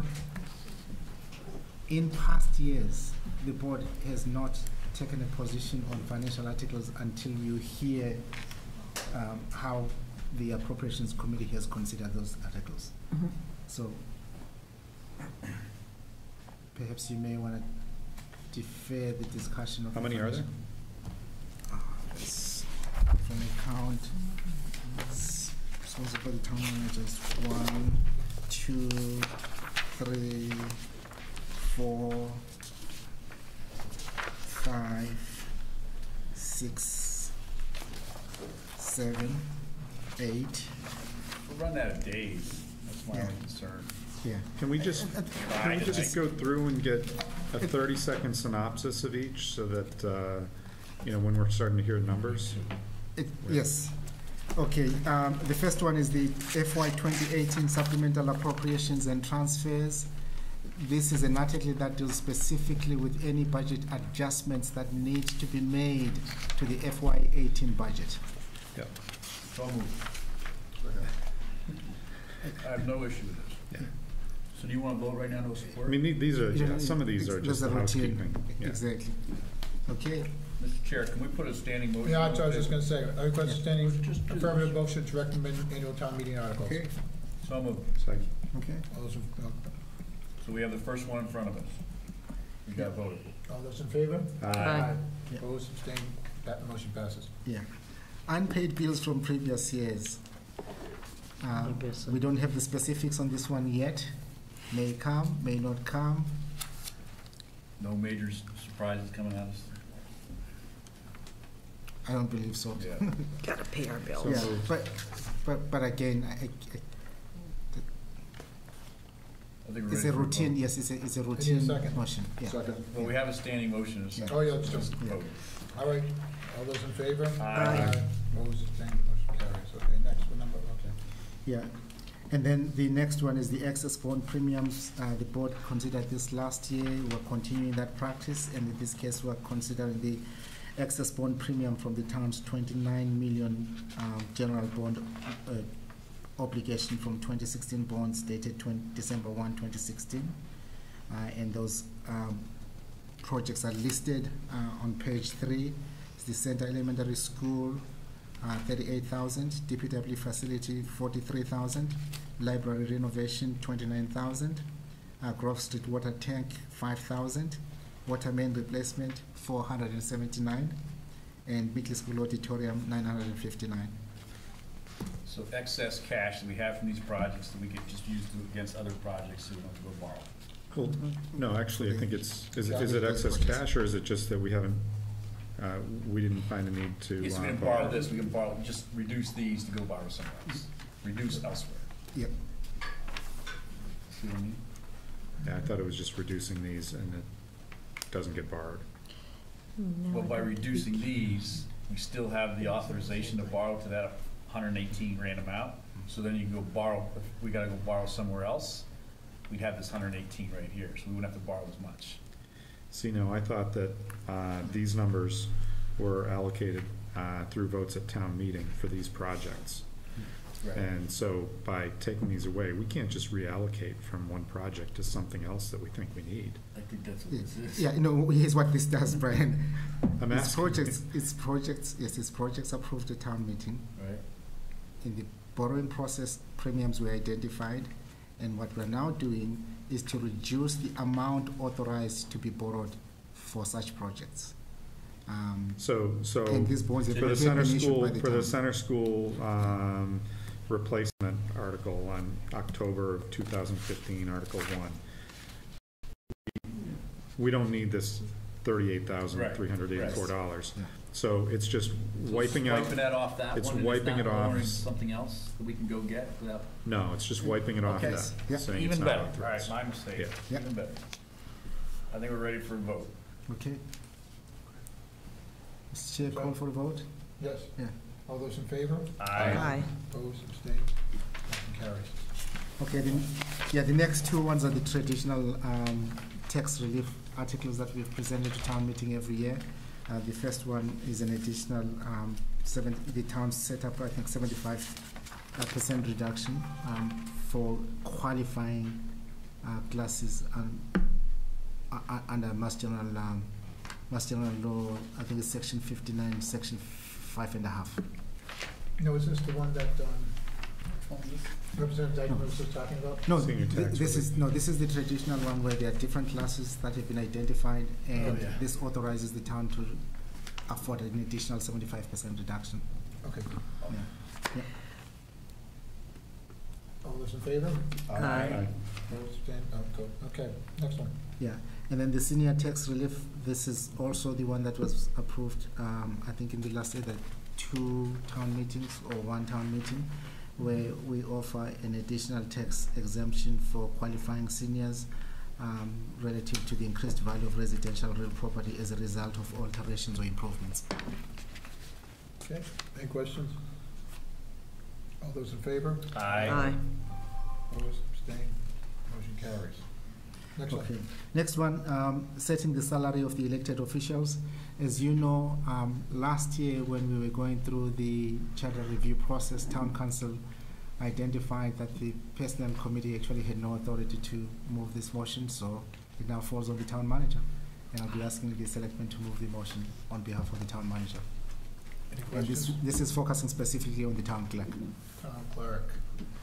Okay. Any questions? All those in favor? Aye. Aye. Opposed, abstained? Okay. So town clerk's leaving now. Never mm-hmm. abandon you guys. You can try. The revolving fund bylaw and fund transfer, you'll recall through the modernization law, the town is now required to pass a bylaw for revolving funds. We started that process last year. Uh, specifically in this uh, round, there's a new revolving fund that's been proposed, one for the turf field user field fee fund. Um, the others were considered previously. Um, we will also, we'll also be recommending that uh, the town um, um, um, delete the revolving fund for the ambulance fund. Instead, we'll be using the receipts reserved for appropriation to cover the purposes of the uh, fire department relative to operating the ambulance. Okay. Any questions? All those in favor? Aye. Opposed, abstained, carries. And then this, the following, one- uh, the following article then sets the spending limits for the revolving funds. Uh, we're still working through that. Perhaps the board may want to hold on that. Okay.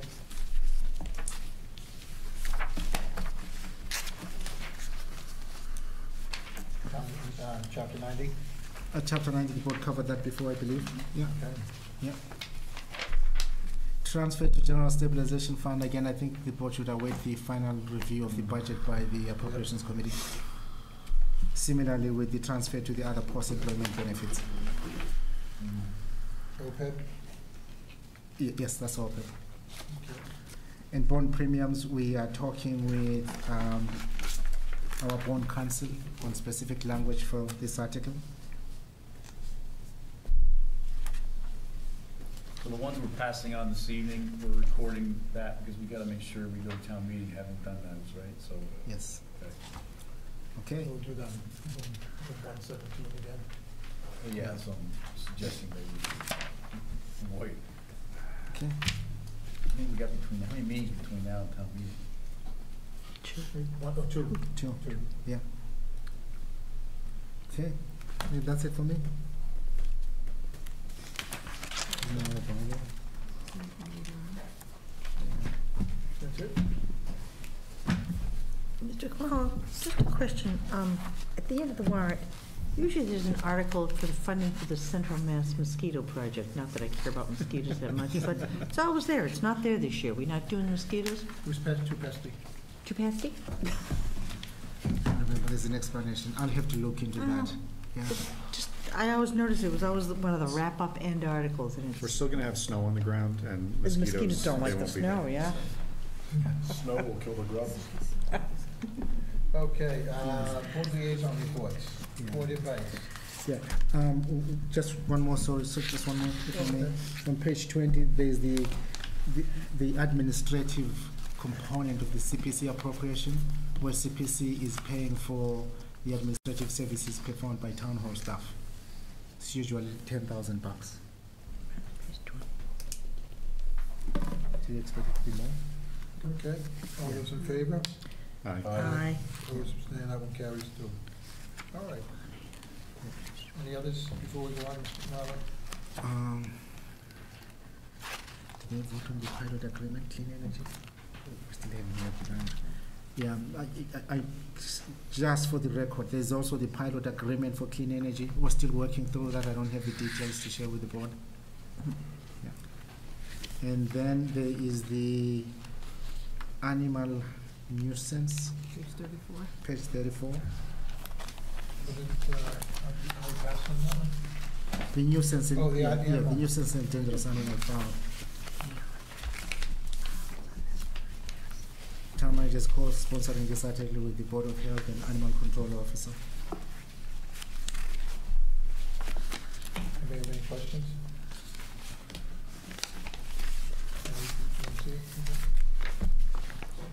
No, I just, got too many copies of this thing. I know, I, I, so.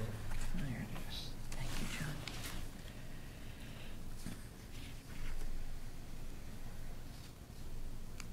Dangerous fowl. A rabid duck. I don't think ducks can be rabid, They're happy to eat it. but anyway. Just a question on that fowl. Um, I'm sure town counsel has figured out how this fits in with some of the agricultural protections. Is, is there any discussion with regard to any conflicts with I mean, barking dogs, I can see, but? No, I think town counsel's been involved with the parties in drafting this, making sure it complies with So, state law. Who wrote this? As I read it, you know, now maybe I'm getting picky, but no person shall allow any animal or fowl, including a chicken or rooster, to create a nuisance or disturb the peace, uh, peace and quiet of any neighborhood by reason of excessive noise, blah, blah, blah, blah, blah. Yeah. No person shall allow it. Does that mean that if I see it, I'm obligated to go and shoot the rooster? No, no properly. Yes. I hear a Only- only rooster in town all the time. I love it. I think it's the Yeah, and, and, and, you know, and, and, and aren't we killing, uh, Yeah. uh, partially killing the, the, the, the whole, you know, uh, I heard once when we were trying to add the word residential to, to the agricultural district, we are an agricultural community. You know, we, we have farms everywhere, actually, I don't think we really do anymore, but actually, we get water fresh. Um, but, you know, it's just, you know, are, are we being too restrictive here? Do we, is there something that exists already and we're just modifying it? We have a, a barking dogs bylaw, so some of this arose out of that, and uh, in reviewing that, I think it was discovered that it doesn't comply with current state law, so part of that was bringing that up to, up to standard. But the rest of it, I think, was from the Board of Health and Animal Control regarding some complaints about noisy animals. Well, I, I just. About somebody's rooster next door. This has, this has nuisance bylaw parallels. with I all of agree. I know, I mean, want I'm, to do I'm it. questioning the word excessive, and that's why I asked about on that agri. Perhaps the proponents could come and Yeah, I, I want, yeah, I'd like to, well, uh, personally, I, I, I- I'd like to hold on it rather Yeah. ask for a motion. Um, Well, that's why I questioned particularly the word excessive. I knew that and if I then said you- agricultural, because, you know, there are certain protections for agricultural things, and roosters crow. Is that excessive if he, you know, sounds off once or twice? I, I mean, what's excessive? I don't know. I don't have to listen to him, but, Well, also like the subsection A, no dog owner or keeper shall permit the dog to become or remain a nuisance dog or a dangerous dog. Or dangerous. So I guess I'd have to look at Mass General Law, Chapter one forty, subsection one thirty-six A and one fifty-seven. Off the top of my head, I think that's where that's kept. And, uh. You're good, Fran. And, uh, Logically. Good. um, I, I guess, how do you determine what's a dangerous dog? Those terms aren't defined in- in the statute. For some reason that slipped my memory, that Well, it's- subsection. it's well, it's 136. excessive. This, What's this one will be excessive? about two hours. Yeah. Yeah, yeah. Yeah, yeah, Town that's what happened a couple years ago. When People came up and they argued for hours about the dog park. People funneled out of the place, and then they wanted to talk about uh, restricting the distance a level three sex offender can be to a church or a, or a daycare. And people are funneling out, they care more about dogs than they do rippers near a church or a school. So, yeah, this will take, Still, I, I still go back to, uh, the first town meeting I was at as, as a member of the board. And we were talking about the crosswalk that goes from town hall over to the library. And that was a solid hour of conversation for fifteen thousand dollars. The next article was for, I think it was a six or seven hundred thousand dollar fire truck. There were no questions and it passed unanimously. times have changed. Yeah. So, Okay. this article about the animal, where did this come from? This is the first I've heard this one, so. Bo- Board of Health, Did Mary Animal Pratt write this? Control. She wouldn't. Yeah, no, uh, Board of Health and Animal Control, and the town manager got involved um, when the discussion extended to enforcement and, and hearings. So they're the ones that are sponsoring it on town meeting floor? Yeah. Yeah, Well, if they want to sponsor it on town meeting floor, that's their privilege, that's their right, but this, this just seems like it's gonna be a very tough one. Yeah, yeah, we start talking Yeah, we about. might wanna you know, how much- I think, I think they should, I think they should try to bring the current bylaws up to code, or, how- you know, however state standards. And let's keep you out of it, and let's keep the enforcement piece out of it until later, until that's cleared up. Yeah, I, I, I know at the beginning, uh, we were considering two parallel processes, and then we ended up combining the two processes. So we can go back to the original process where we'll specifically look at strengthening and enhancing the existing bylaw. I knew I just had to say, show this to you for one second. Yeah. Okay, um, and then on page forty-two, on page forty-two, utility easement Hayden Rowe. This is very important towards resolving the double pole issue. I wasn't aware that we had that. Yeah. So it's, it's simply allowing the easement that will uh, facilitate, that is resulting from the relocation of the pole uh, as part of the service to the marathon school. Yeah. They're already in. They're already in the ground. Paul's already in the ground? No, okay. Okay, all those in favor? Oh, any, okay, any further questions? I'll, uh, you guys have some questions. I'm all set, I'm gonna abstain. Whatever. Okay, all those in favor? Aye. Aye. Opposed, any abstentions? Okay, motion carries unanimously. Yeah, thank you. Yeah, oh, sorry, did I miss the Clinton Street easement? I do believe you did miss that. Yes, on page forty-one, sorry. Yeah, this is an easement that is required for general municipal purposes, including stormwater management and sidewalk purposes. Is this the Burt Whistle home? The, the house Where on we- the corner? eh, The one house in the corner where the engineers, They were very Is this excited. pipe already in there too? yes. They were I'm very really excited. surprised we had two articles that have already been done, Yeah. and they haven't gone to town We, meeting. we just hire those people. I like that, I like that. We should find those people. That's the Tom McIntyre way of asking for forgiveness rather than I'm permission. familiar with. Okay, with that, all those in favor? Aye. Opposed, abstained, motion carries unanimously. Anything else? Anything else? Yeah. Yeah, I think we're all set. Again, as we said, the pilot will be discussed at a future meeting. Okay. Yeah. And then, and the foul one.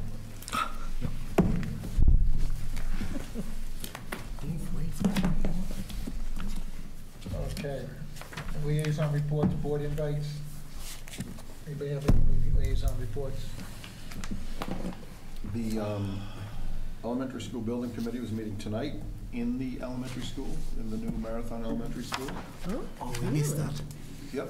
Wow. Yep. Um, So that is coming along very, very nicely, uh, under budget, and they're doing a great job there. They are ahead of schedule, and they are going to be um, open uh, school year next year. In case anyone was curious, center school's going away. Anything else? It's not a liaison report, Mr. Chair, um, but uh, I think that in- at the beginning of the meeting, uh, probably just due to uh, the crowds and anticipated uh, discussions tonight, uh, we were a bit remiss in mentioning the loss of the town uh, over the last couple of days. I'll, I'll let you take it. Yeah, uh, um, you know, I'm, I'm over at the senior center a lot, and, um, and uh, Cindy Chesmore is gonna really be missed. Um, You know, we, we, we just lost her the other day, uh, on Monday, and uh, as a result of COPD, it's, uh, it's gonna be a, a large void in the, um, at the senior center. And, um, yeah, we're, we're, we're really gonna miss her. Uh, My uh, condolences to the whole Chesmore family, and to uh, everybody at, uh, at the senior center. Cindy was a good egg. She was a good egg for a long time around here. When we lose people like that in town, it's a, it's a big hit. Yeah. She was, uh, uh, in, in my experience, she was a, a quiet voice, but persistent voice in advocating for the seniors in town. Um, and what she was able to do with the relatively scant amount of money Mhm. uh, that goes to that budget was pretty amazing to me.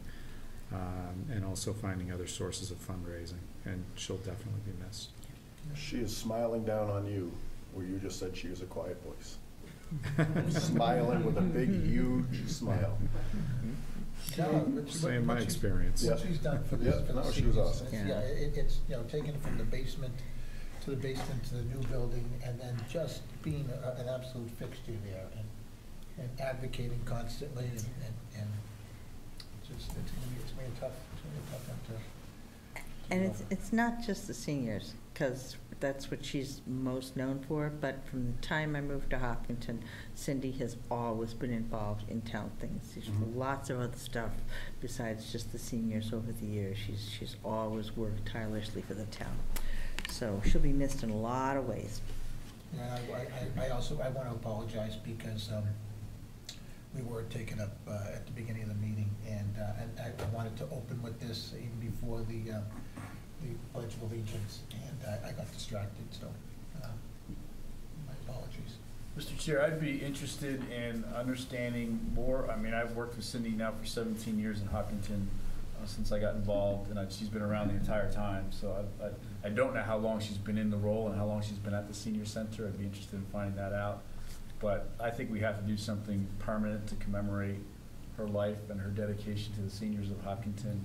Um, I don't know if she was always a quiet voice, uh, because she was a very uh, uh, articulate and tenacious person in interacting with the MWRTA, which I serve on, and, uh, and other ways uh, over the years. Um, Always a very respectful uh, but strong voice, and uh, I just think we should find a way to commemorate her permanently in Hopkinton. I don't know what that means sitting here tonight, because this is all fresh and very sad, um, but we've done some other things recently, and I think something along that scale might be considered. Great idea. So to build on, I mean, to, to pull from a point there, and I want this to go out, I don't want anybody to think that the term that she, you know, that the fact that I said that she wasn't a quiet voice is derogatory. I have had years and years and years of interactions with Cindy where they have been fun and funny and happy, and she was a, a great person. As a matter of fact, the last interaction I had with her was after our budget meeting, when her oxygen tank blew. Yes. And, uh. Made a lot of noise. When I, I saw her a couple of days later, and she made a very funny comment about it, which I won't, I won't speak of here, but she always had a great sense of humor. Uh, Her husband, another one, great sense of humor. Her kids are great. Um, So the fact that I've only been in town government, not politics, government, for uh, a couple of years, I've known her forty-six additional years, other than those last two I've been on here. And she's always been a hot ticket, funny, great person. So I want to make that perfectly clear that I wasn't, that there was no intonation of derogatory uh, discussion here, because there wasn't. I- She was a good person. I shared with you guys all an email today, I don't know if you read it or not, a story of when she was a patient of mine. I won't get into it. It was hilarious, um, but it was, um, she was, a she was a good person. And she, she will be missed, and it's great to see the people on the board here. Like, where are the people in fifty years, hopefully, that when we go, you know, your grandkids or whoever that's gonna be sitting up here, not yours, but that they're gonna say, you know, that Ted Stone, he was a loudmouth, but he wasn't a bad guy, you know? I don't expect anything to be named for me, maybe something down at Cornell's, that's fine. But, but There's a couple these guys are, these are, right now that probably wouldn't be saying that much. there, there are shoes that this generation of people that are passing now, that are, that, that they're leaving tremendous voids that we can only hope to fill. Uh, Cindy's one of those, and, and there's a lot of people over the last fifteen years that, as I've come, you know, taken more of a- an active role in Hopkins, when these guys pass, there, there are huge voids to be filled. And, you know, it's, it's, it's up to us and, you know, more people coming in and, and try to fill those. And, uh, it's a, it's a tough, it's a tough void to fill. It's an impetus for you to work harder. Excellent use of the word impetus. Okay. Was that a bet tonight? Yeah. Drink. Okay, all right. Um, Mr. Khumalo, town manager's report. Yes, we have a conflict of interest form for the board to sign. This is an issue that came up uh, when we, when the board was considering the, the, the, the revisions to Marathon Way, um, Marathon Way as part of the Main Street Corridor project. The request comes from Beth Kelly. Is there a copy of that or something? It wasn't in the packet. We have a copy. Okay, Yeah. do you see that?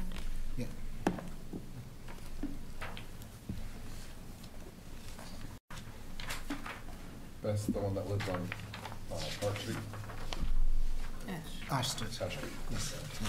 Now, Mr. Khumalo, without yet seeing it, um,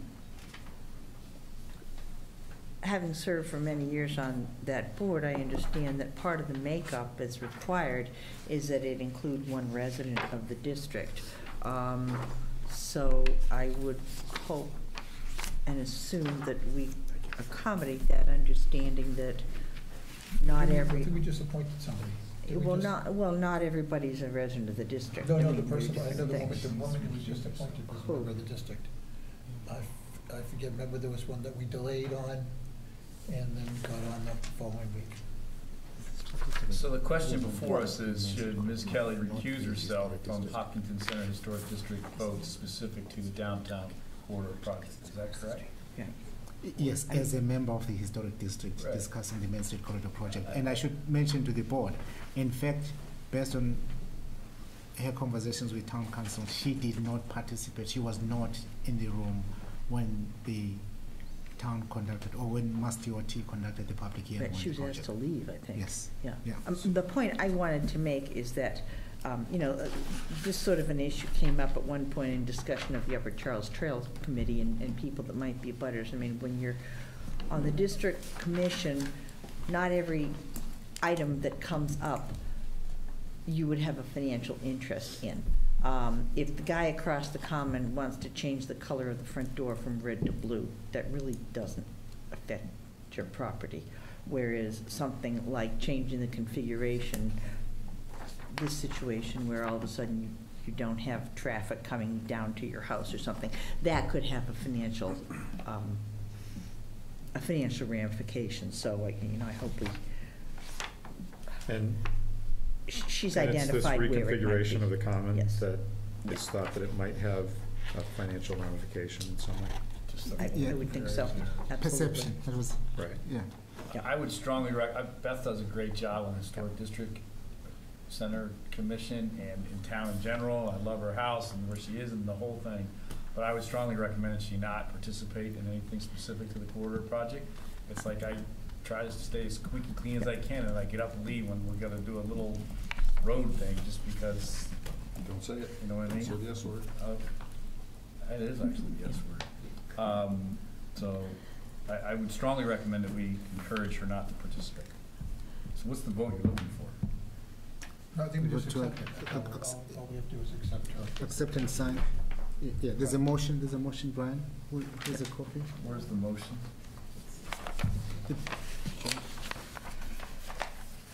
I request this, uh, I'll, no, just, um, hold on.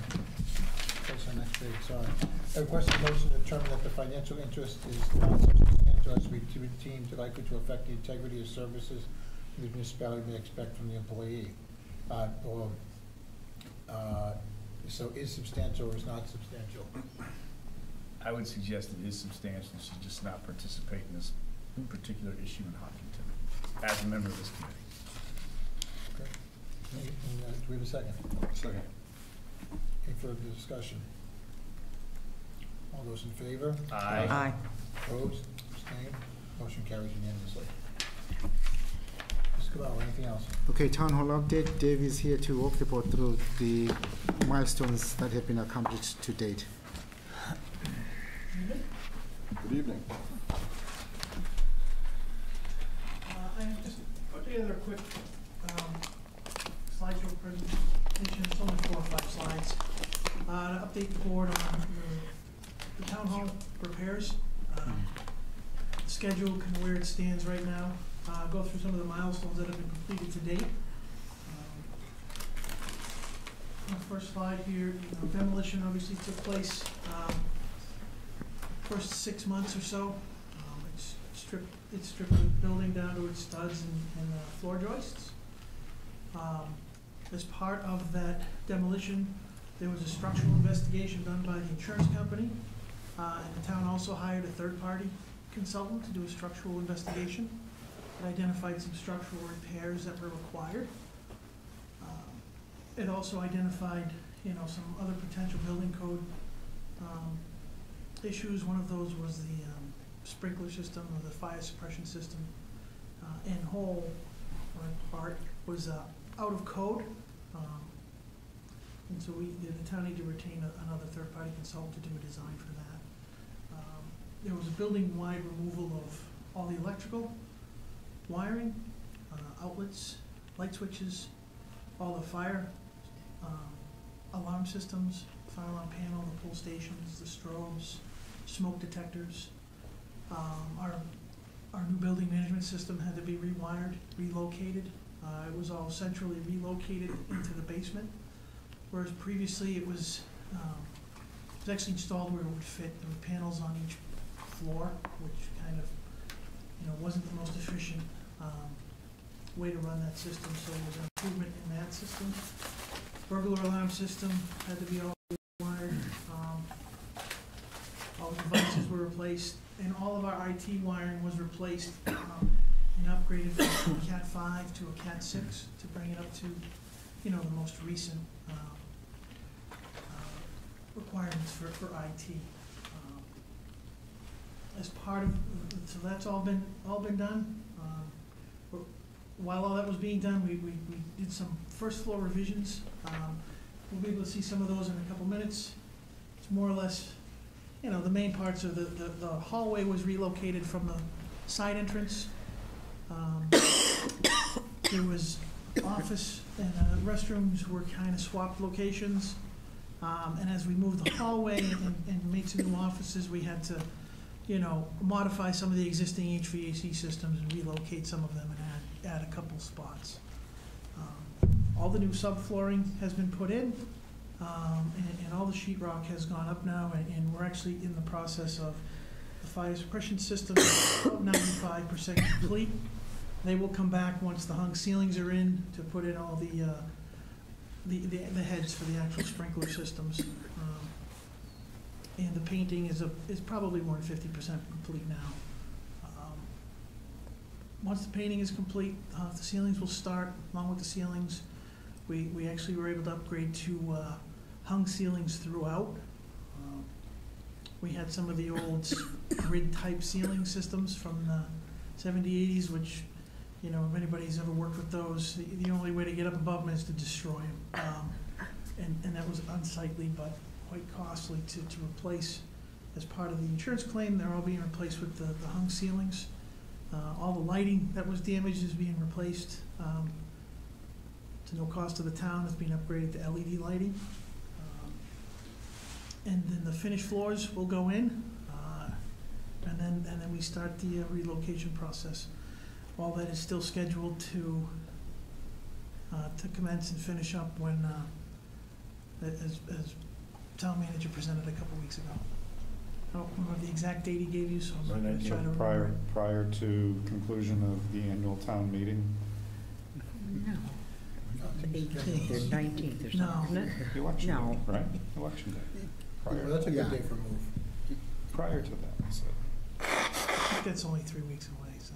Yeah, we, we, we're actually refining that plan, and hmm. we'll let the board know. Go figure. So this board will not meet at town hall again? No, thi- this board will meet at town hall. We, we've made that clear today. Um, Yes, this entire board can come to Yeah. town hall whenever, whenever Yeah. you'd like to. Um, So I just, again, th- that, that's more, more or less the the milestones it. Um, A, a lot of work was done. This first slide is, is the, the slide on the left is the, the new sprinkler system, the new, we had to upgrade the entire, um, fire line from the basement. Um, It had to split off between a wet system and a dry system. Um, We added a dry system for the attic space. Um, The attic space actually did not have any sprinklers, um, which was not code compliant. Um, And instead of, instead of bringing a, a wet system up there with glycol in it, we, we branched off and have a separate dry system that goes all the way up into the attic. The rest of the building is just straight water.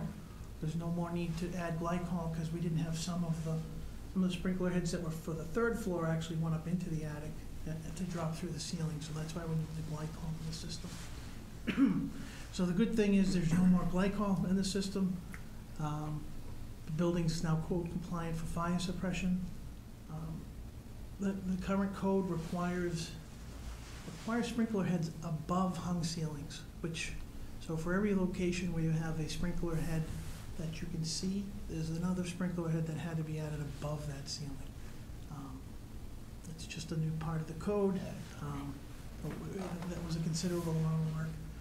Um, You can see here in the basement, you know, there was an insulation that was added to all the exterior walls. Here in the basement, we left it open. Um, It gets painted with a fire retardant um, paint, so you don't have to put sheet rock up here in this area. Here, I kind of skipped up to the third floor to show you some of the new, this is the third floor sprinkler system. Um, Eventually, we will paint it. Uh, Right now, it's just not painted. Um, This is for the third floor. It's all in the heated space, so we do no longer have to have glycol in there. Uh, And as you can see, some of the sheetrock has been done. All these walls were were stripped. Mr. Daltorio, I, I've had a, a question a few times and you haven't been here, um, through no fault of your own. I don't know how that is. So- I'm here all the time. Did we have to pay out of our pocket on this sprinkler system to get it up to code? Yes, Did we have a, s- a fire, sup- so you, you said we had a fire suppression system in there before? correct. So in order for it to go to code, we had to re-engineer and put a new fire suppression system. Yes. What was the reason that the insurance company didn't pay? Because, Council can give you the legal answer because because it, it- it did go back and forth with council and the insurance company. In short, it wasn't damaged. Itself, it wasn't damaged by, by the, by the, the water damage. So would the building inspector have signed off with the renovations with the, with the old fire suppression system? Would it be legal? I don't, I don't. No, think so. No. I don't speak to the building Yeah. inspector, but Yeah. it wasn't Or cold. would anybody, would, would anybody sign off on it? No, f- fire was, the fire department was not willing to sign off on the whole system. Yeah. So I- the question remains, and I've asked it a hundred times. Yeah. Doesn't matter who's here, I don't get an answer for it, is I don't know of an insurance company that would do a repair on a building. And I'm not saying you're doing anything wrong. I'm just trying to wrap my head around this. I don't know an insurance company that would say, you're insured, you have to beat a code, but in order for you to be in code, we're not gonna pay for it. When that's a known risk, when they insure the building, if there's a loss, things have to be brought up to code. When they, I don't believe when they insured the building that, that was, you know, at that time, it was to. Once you pull down all your walls and all your ceilings and all your, you know, you, in order to re- res- restore stuff, you have to bring it back to current code. Right. So, you know, some of that code compliant repairs, um, as the policy is written, if you have a claim, uh, if, if it did not damage that system, um, the policy doesn't cover the replacement of that. So, However, to get an occupancy permit, that, that system would not be acceptable for, right, and, and the legally, town manager can explain it contract-wise, tomorrow in his office. there you go. Yeah. Moving on. Exactly, yeah. well, Thank you. legally and contractually, those are two, two valid points, but, um, validity in contracts and legal don't always, don't always mix. Um, So here on the third floor, uh, uh, you know, I tried to capture in this picture on the left, um, this is coming into the entrance, the side entrance of Town Hall.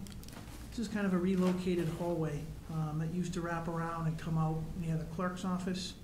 Um, we will now have a kind of, a common hallway that connects directly to the, uh, the foyer, the front foyer.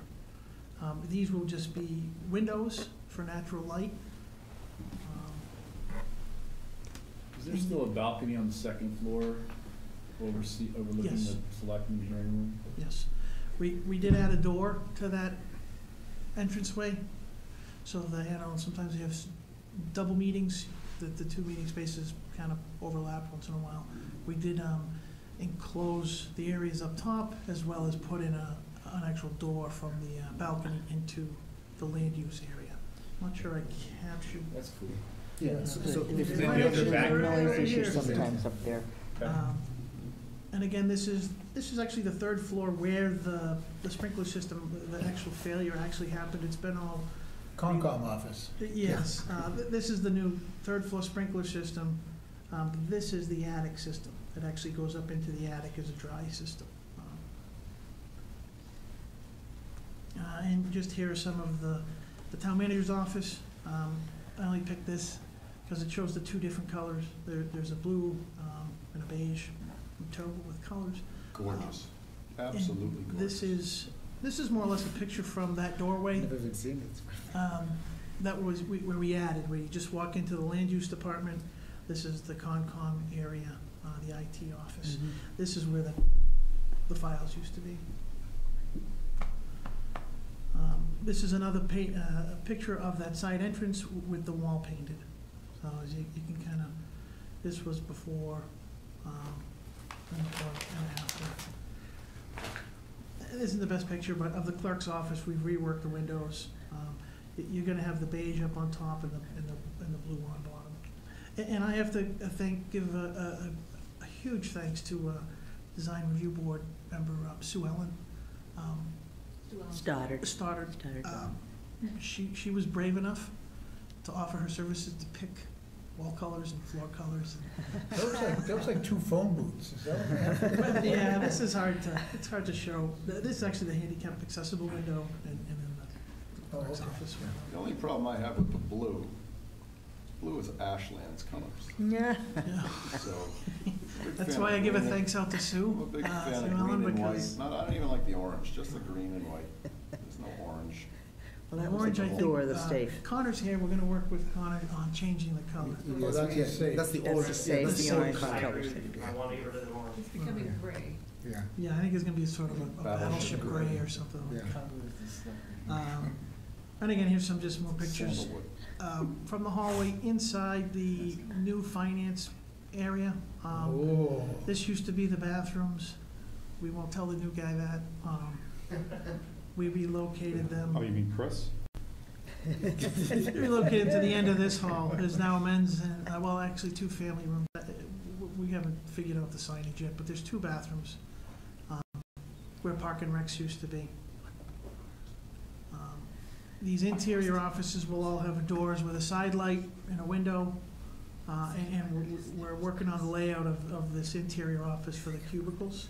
And again, um, when you come in through the back door, um, back door, side door, you're gonna go left um, to go down this hallway, or you can go straight and it brings you to a door to this office, as well as to where um, HR will now be down on the first floor. There's two offices where the finance director and accountant used to be. I'm not sure I picked that up on this.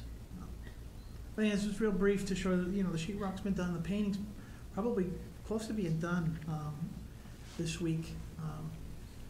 And then once they do that, the doors and the windows for all these, I think might have started to go in this week. I, I haven't been able to get in there this week, unfortunately, but, um, hopefully by the end of next week, all the, that's, work will be done and we'll be starting on, um, ceilings and, and lights, and, uh, it moves pretty quick from there.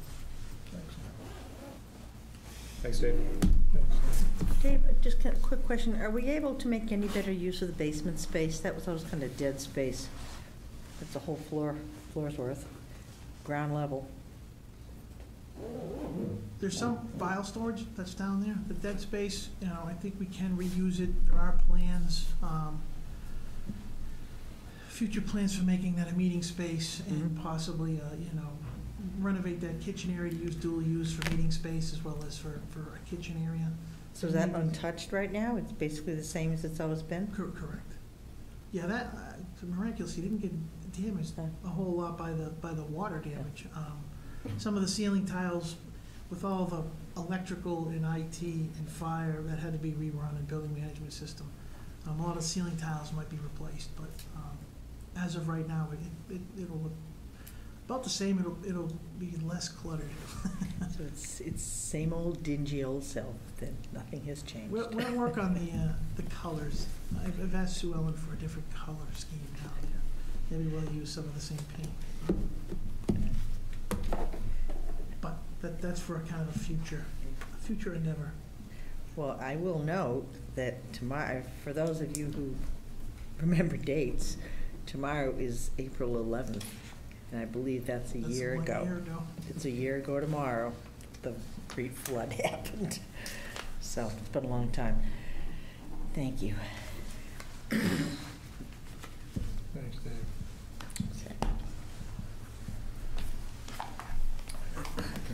Thanks, Dave. Thanks, Dave. Thank you.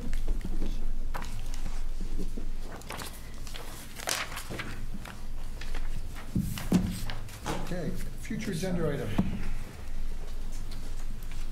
Anything? So I don't have a future agenda item. I would like to take a second and note, um, there was a lot of hard work that went on Saturday, putting those banners up, going from the center of town down towards, uh, towards uh, uh, Ashland. Uh, I saw that twenty-six point two foundation, uh, I saw American Climbers out there donating their time, about eight hours, their equipment. And um, it, uh, it looks nice, and I like to recognize when people donate their time and equipment and people in town, I like to try to make note of it if I can. So, good job to the, uh, to the powers that be that got that done, American Climbers. And then, and we heard from, uh, Ted and Yep. Essex and, um, uh, Tim Kilduff, there was Chamber of Commerce, there was just a lot of people, and, and all those that, that donated. uh, to uh, Yes. make those, uh, those banners up, and, you know, that's, uh, you know, it all starts here, that's the uh, Hopkinton Mile One. And one more interesting little fact, on four twenty, April twentieth, uh, that movie Super Troopers Two comes out into theaters, and that, the one that was filmed at, uh, on, uh, in Hopkins. Ironically, on four twenty. That's all I have. And I'm just noticing that the next meeting is April 24th, so we only have one more meeting. I was thinking there were two. We said two, there's one before town meeting, so we have a full meeting. All right, and then, uh, we hope to see, uh, everybody, uh, Monday at the, uh, start of the, uh, twenty-second Boston Marathon. Mr. Chair, I move to adjourn. Second. Any, any any further discussion? Hearing none, all those in favor? Aye. Aye. Opposed, abstained, thank you, everyone, hope to see you at the marathon.